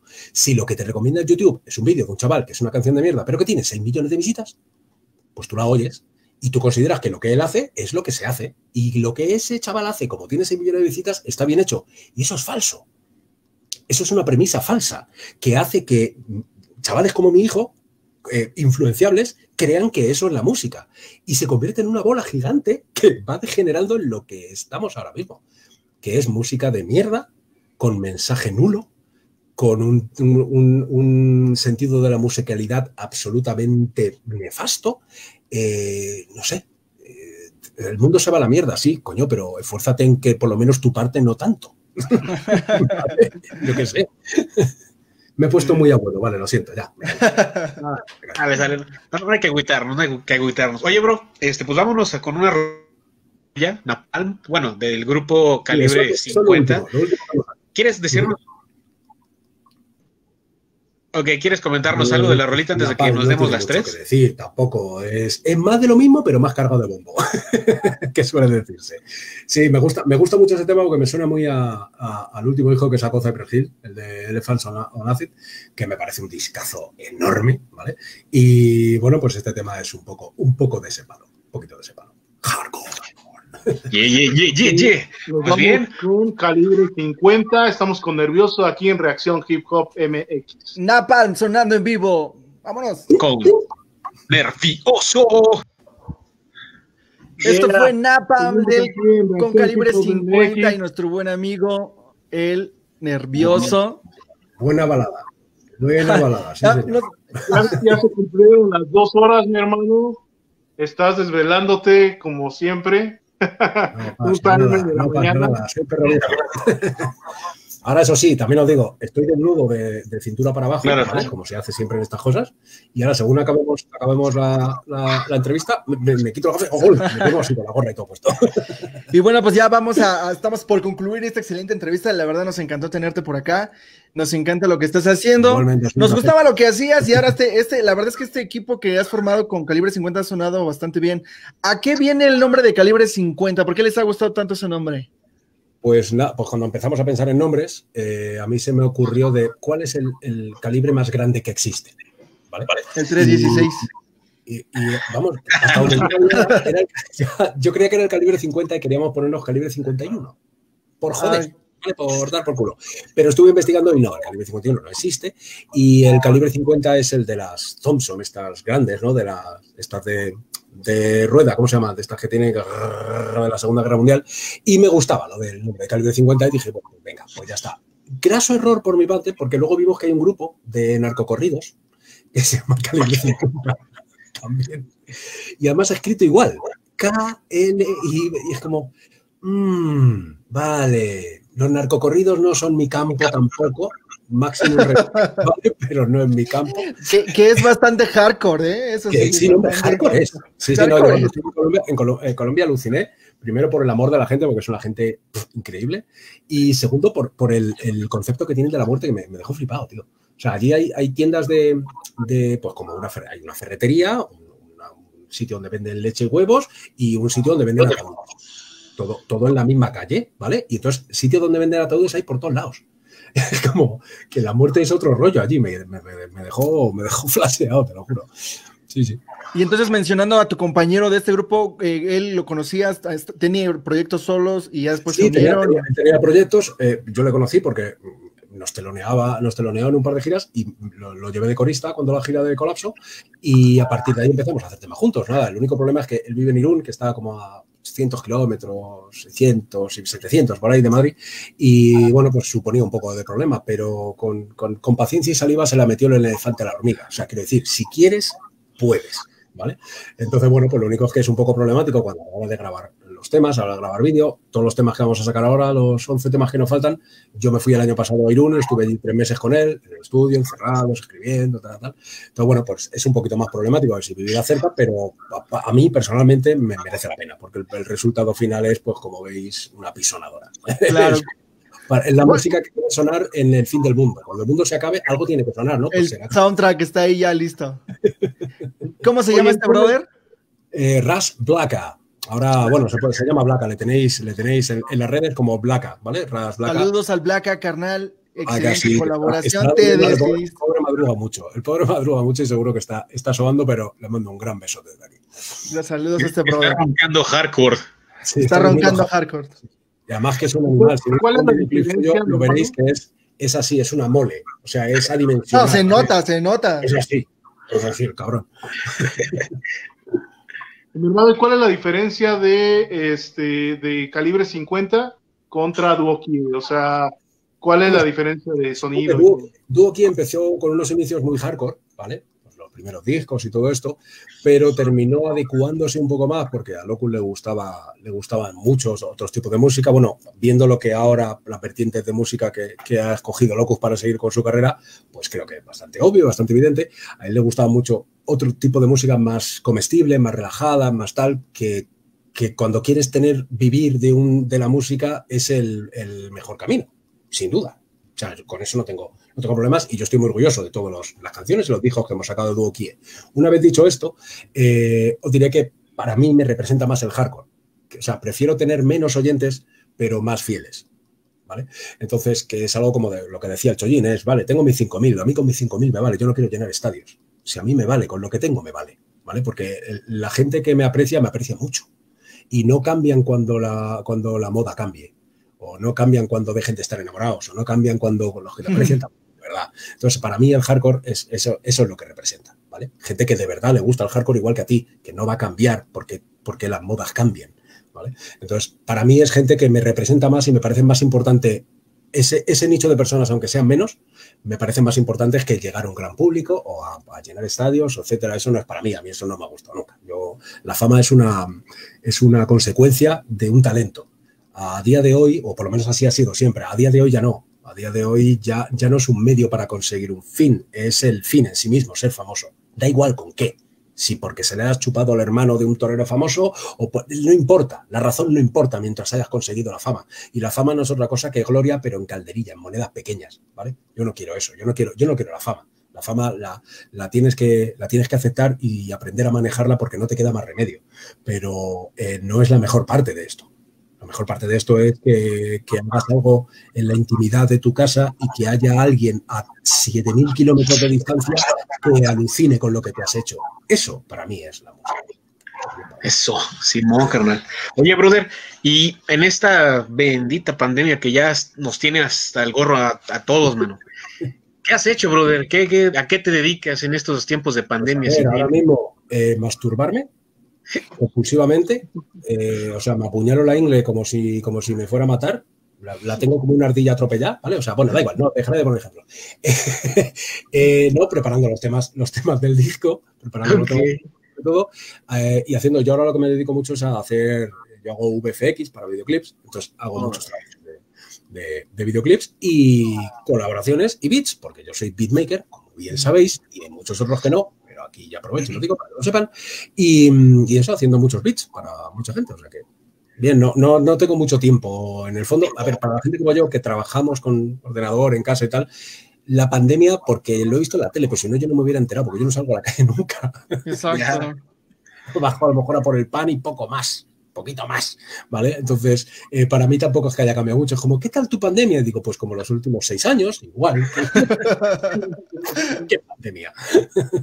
claro. Entonces, ¿qué, proyectos andan en el aire ahorita contigo, mi hermano? Pues nada, ahora, bueno, hice hace poco que os lo mandé también em, eh, la campaña, porque Madrid está muy jodida con, con la pandemia, ¿vale? Entonces, tengo un gran amigo que, hice con él esta cosa que os dije del CDC y me llamó para ver si podía locutar la campaña de Madrid por Madrid, que es para la campaña de recogida de alimentos para las familias más necesitadas de Madrid. Entonces hice eso hace, hace relativamente poco, hace un, el mes pasado o un poquito más.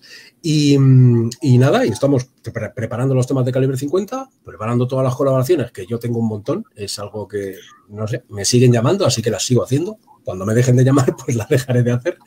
Y nada, la verdad es que trabajando mucho, trabajando mucho y con muchas ganas de, vamos a sacar el, disco de Krakatoa con varios videoclips. Todos los temas, los que no tengan videoclip van a tener videolyrics. Todo lo, todo lo que veáis de calibre 50 en vídeo lo he hecho yo. Y mm, entonces, bueno, pues requiere mucho trabajo, muchas terefes, mucho estas cosas.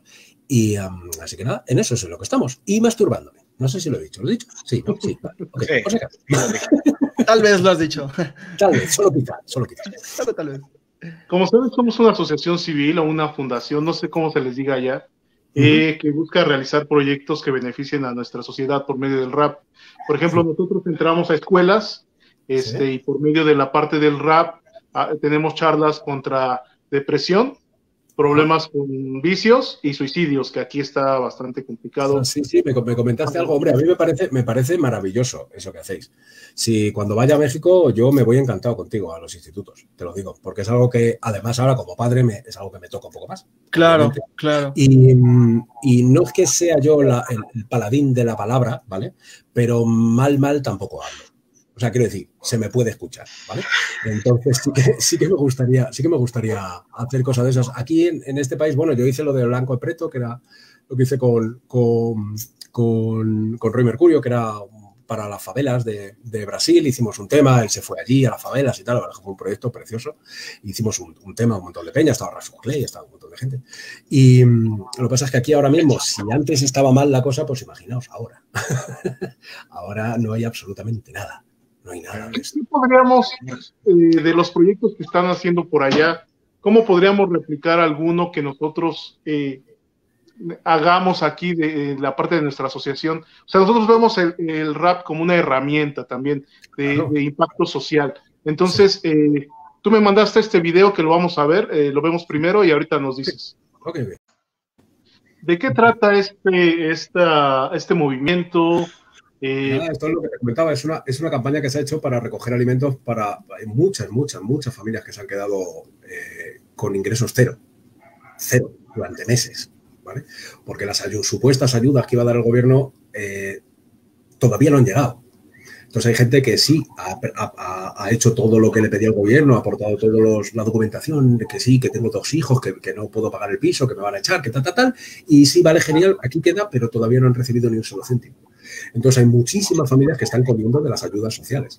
Que las ayudas sociales, eh, sobre todo, aparte de Cruz Roja y estas cosas, es gente de los barrios que dan comida a los que pueden, dan comida para que se reparta entre los demás que no tienen. Entonces, eso es una iniciativa que a mí me ha parecido preciosa y que quise aportar mi grano de arena, obviamente.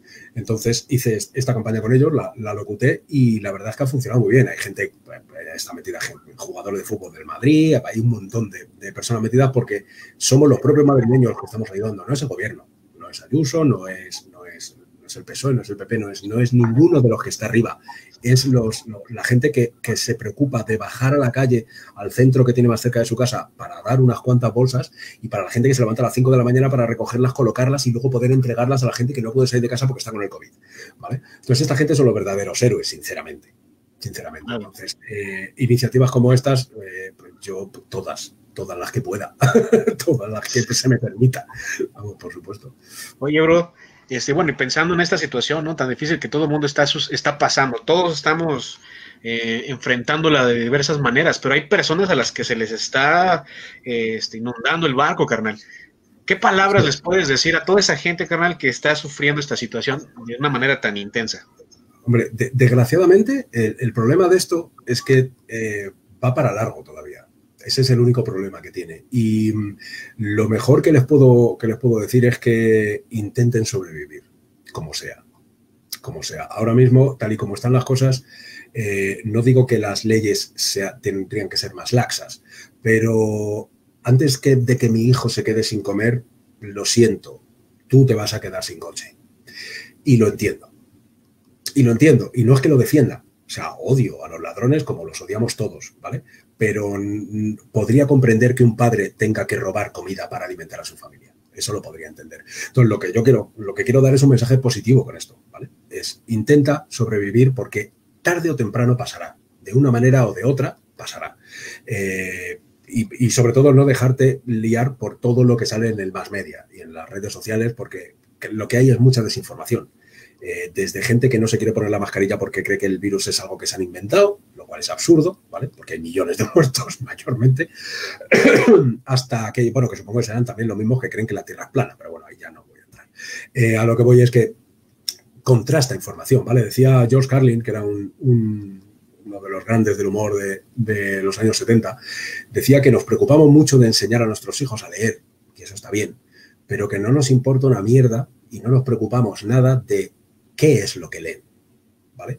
Y tenía toda la razón. Y contrastar la información es vital. Si ves algo que te hace saltar una alarma, como por ejemplo, el virus es inventado.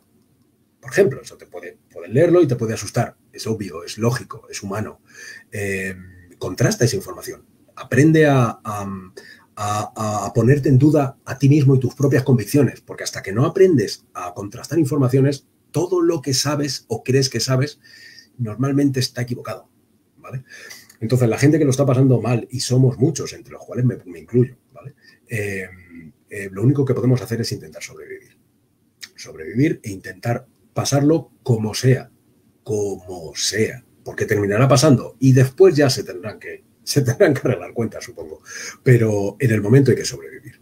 Entonces, mucho ánimo para todos aquellos que, que, lo estén pasando mal, mucho ánimo para todos esos padres que están viendo cómo sus hijos lo están pasando muy mal, muy mal, porque los, nosotros nos adaptamos, pero los chavales están, un año en la vida de un chaval es, es en un chaval de 10 años es el 10% de su vida. Un año en nuestra vida, en una persona de 40 a 45 años, eh, pues es un 2%, no sé cuál es, cuál es, el número exacto, pero es muy poco. Pero para un niño sí es mucho. Para un niño de 7 años, un año es mucho tiempo, ¿vale?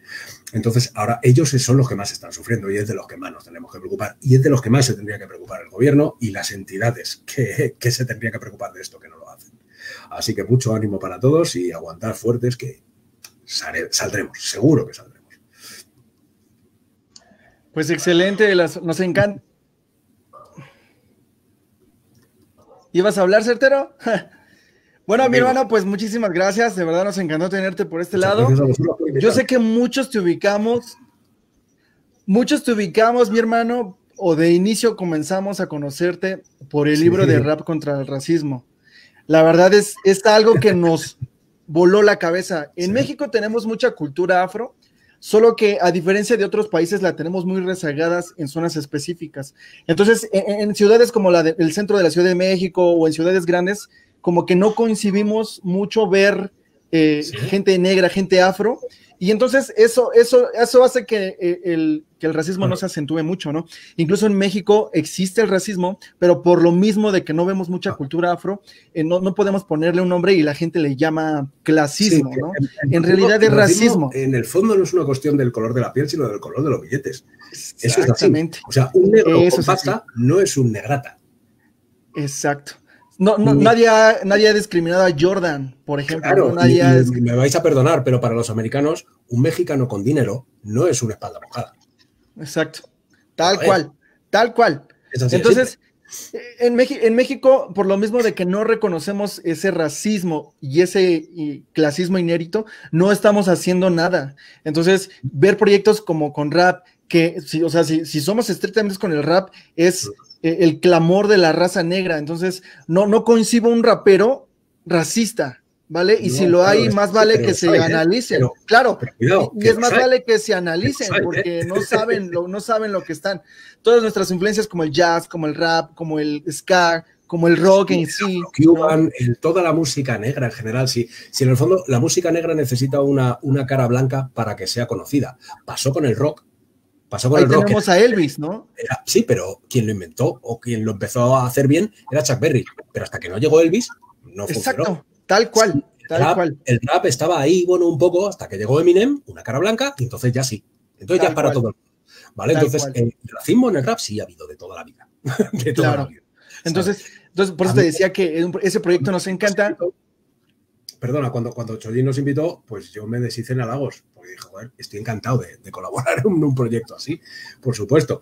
También me tiró un poco así de, la pernera del pantalón y me dijo, tronco, un poco más de tranquilito, porque un pelín quizá demasiado a saco, pero bueno, parece ser que mi trozo gustó y estaba con los mejores en sí del país, del momento, entonces eh, no puedo tener más que orgullo por mi parte, no puedo decir ni media.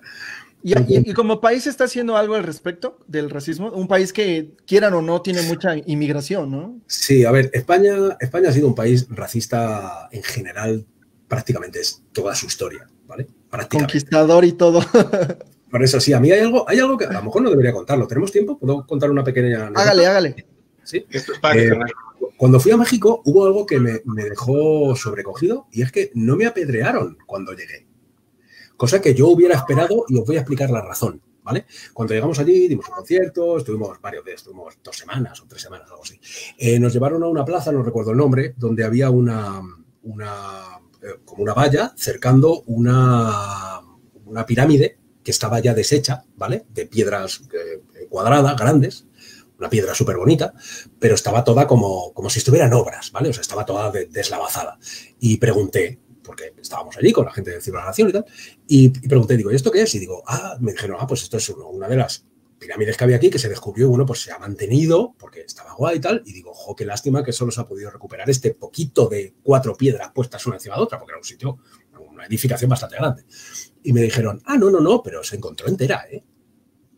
Y digo, ¿cómo que se encontró entera? Y dice, sí, sí, esto era una pirámide, perfecta, genial. Y digo, ¿y qué, qué pasó? Luego, que los, borrachos o que, claro, yo no entendía. me dijeron, no, es que claro, llegaron los españoles y necesitaban piedra para esa iglesia de ahí. Y me señalaron, y a 50 metros había una catedral gigantesca de exactamente la misma piedra que esa pirámide, ¿vale? Entonces me dijeron, hombre, claro, necesitaban piedra para su catedral, entonces cogieron la de aquí. Y claro, a mí se me caía el alma al suelo, ¿vale? Pues yo decía, hay que ser hijo de la gran puta para llegar a otro país y coger toda su cultura y decir, no vale una mierda, de hecho la voy a reciclar en la mía y ahora vosotros sois de la mía. A mí me pareció monstruoso, monstruoso. Y yo dije, lo que no sé es cómo no me dan una paliza por ser español, porque yo odiaría a los españoles si fuera así, ¿vale? Entonces, los españoles han sido muy racistas, mucho, en muchos, muchas escalas. ¿De acuerdo? Entonces, en este país ahora mismo está habiendo un resurgimiento de la extrema derecha con Vox, que, ya pasó en Francia, hace no mucho, con la extrema derecha, porque, claro, la gente que no tiene dinero, esto es una cosa parecida a lo que pasó con Hitler, ¿vale? Hitler no fue un dictador, Hitler se le votó. Hitler hubo unas elecciones y el pueblo alemán le votó y él salió ganador. No fue como Franco. Él hizo unas elecciones legales y ganó. ¿De acuerdo? ¿Por qué? Porque el mundo eh, alemán estaba pasando hambre, mucha hambre. Y, los que más dinero tenían eran los judíos, porque eran los que tenían los negocios, los que tenían los negocios de, joyas, de diamantes, y los que vivían bien eran los judíos, que no eran alemanes. Entonces fue una manera perfecta para culpar a los judíos del problema de Alemania, que no era culpa de los judíos, obviamente, pero era un, target fácil. Era fácil culparles a ellos. Entonces, aquí está pasando una cosa similar. Aquí cuando hay un robo suele ser un árabe, o suele ser un africano, o suele ser un, latinoamericano, ¿vale? Eh, ¿Por qué? Porque por lo general la gente que viene a España son la gente que no quieren en esos países. Es decir, no es una cuestión de raza, es de si eres un hijo de puta o no. Entonces, cuando eres un hijo de puta en tu país, no te quieren. Pero porque no, si eres un hijo de puta, no te quieren en ninguna parte. Entonces, lo que termina pasando es que vienen a este país, como supongo que a todos los demás, vienen a este país la gente de baja estopa, escoria, ladrones, cabrones en general, que en su país, si les pillan, les cortan una puta mano, ¿vale? Pero en este país no. Entonces, ¿qué pasa? Que aquí viene toda la mugre que no quiere, yo, yo, pues vas a, vas a Marruecos y en Marruecos la gente es lo más amable del mundo. No tienen nada, pero en Madrid te cruzas con dos árabes y te cambias de acera, por si acaso. Hmm, no vaya a ser que. ¿Por qué? Porque aquí todo el mundo que roba es de otro país.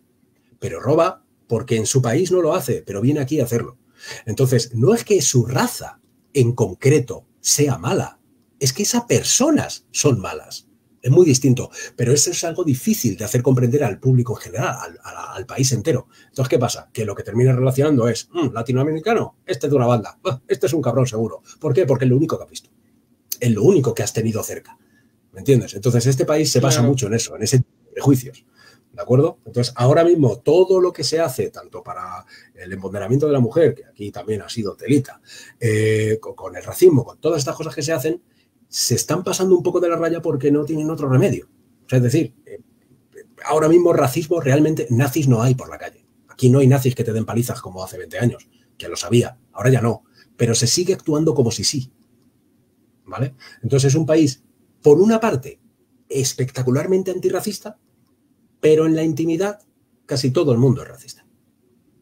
Casi todos. Entonces, es un, es un problema que tienes que balancear y que tienes que estar... Claro, exacto. Sí, algo similar pasa en Estados Unidos. Ponernos en el punto de que toda la gente que conocierais de España en México eh, fueran los típicos junkies, eh, ladrones, que cuando roban un coche siempre es un español, ¿qué tal? Al final, con los años, al final se asocia español igual mala persona. Da igual que los españoles no lo seamos, pero si los pocos que han ido para allá o muchos que han ido para allá resulta que todos eran más o menos del mismo estilo, es decir, ladrones, vividores, eh, listos, borrachos, pues al final te creas una, un concepto de esa raza en general, no de esas personas, sino de esa etnia. Entonces tienes un problema y eso es lo que nos pasa aquí. Claro, por eso amigos latinos, ah, bueno, amigos de todo el mundo, somos representantes de nuestro país, así que cuando vayan a otro, háganlo bien para que el país quede engrandecido. Yo, tengo, yo tengo, tengo, amigos, amigos árabes, tengo un amigo que tenía un bar y él me decía, tío, yo, yo con los árabes, yo aquí no tengo contacto con gente árabe. Y se lo siento.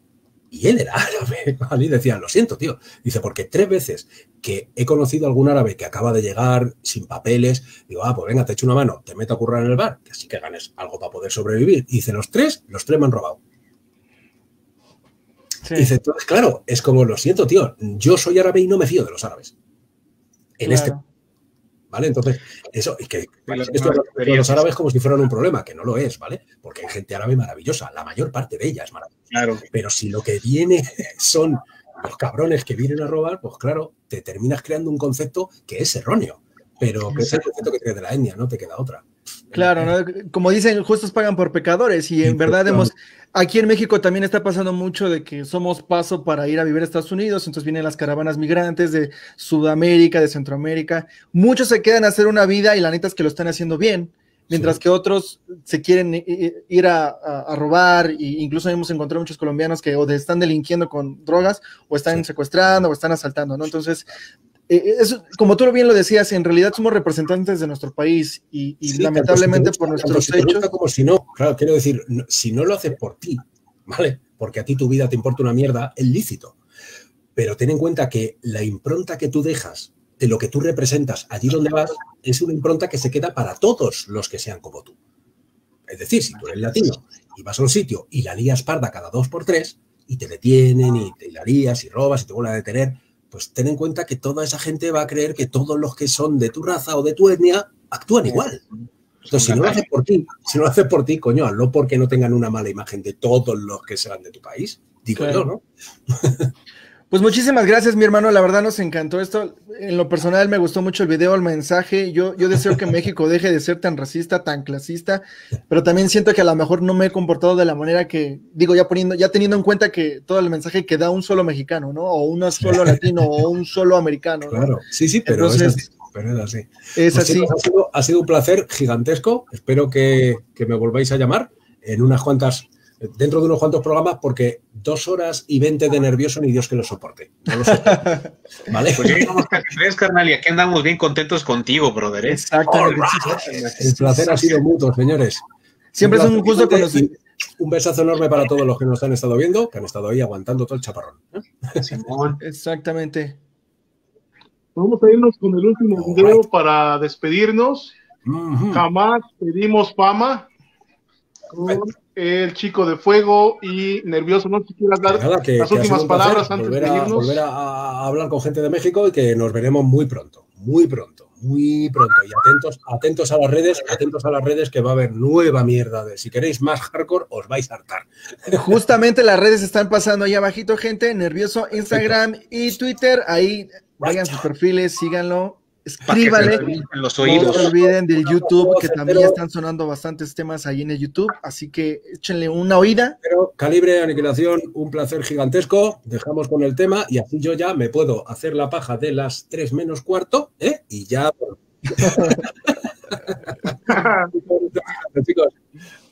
Jamás pedimos fama. Estuvimos con nervioso. Esta es reacción hip hop MX y nos vemos la otra semana. Sobres, mal. Chido.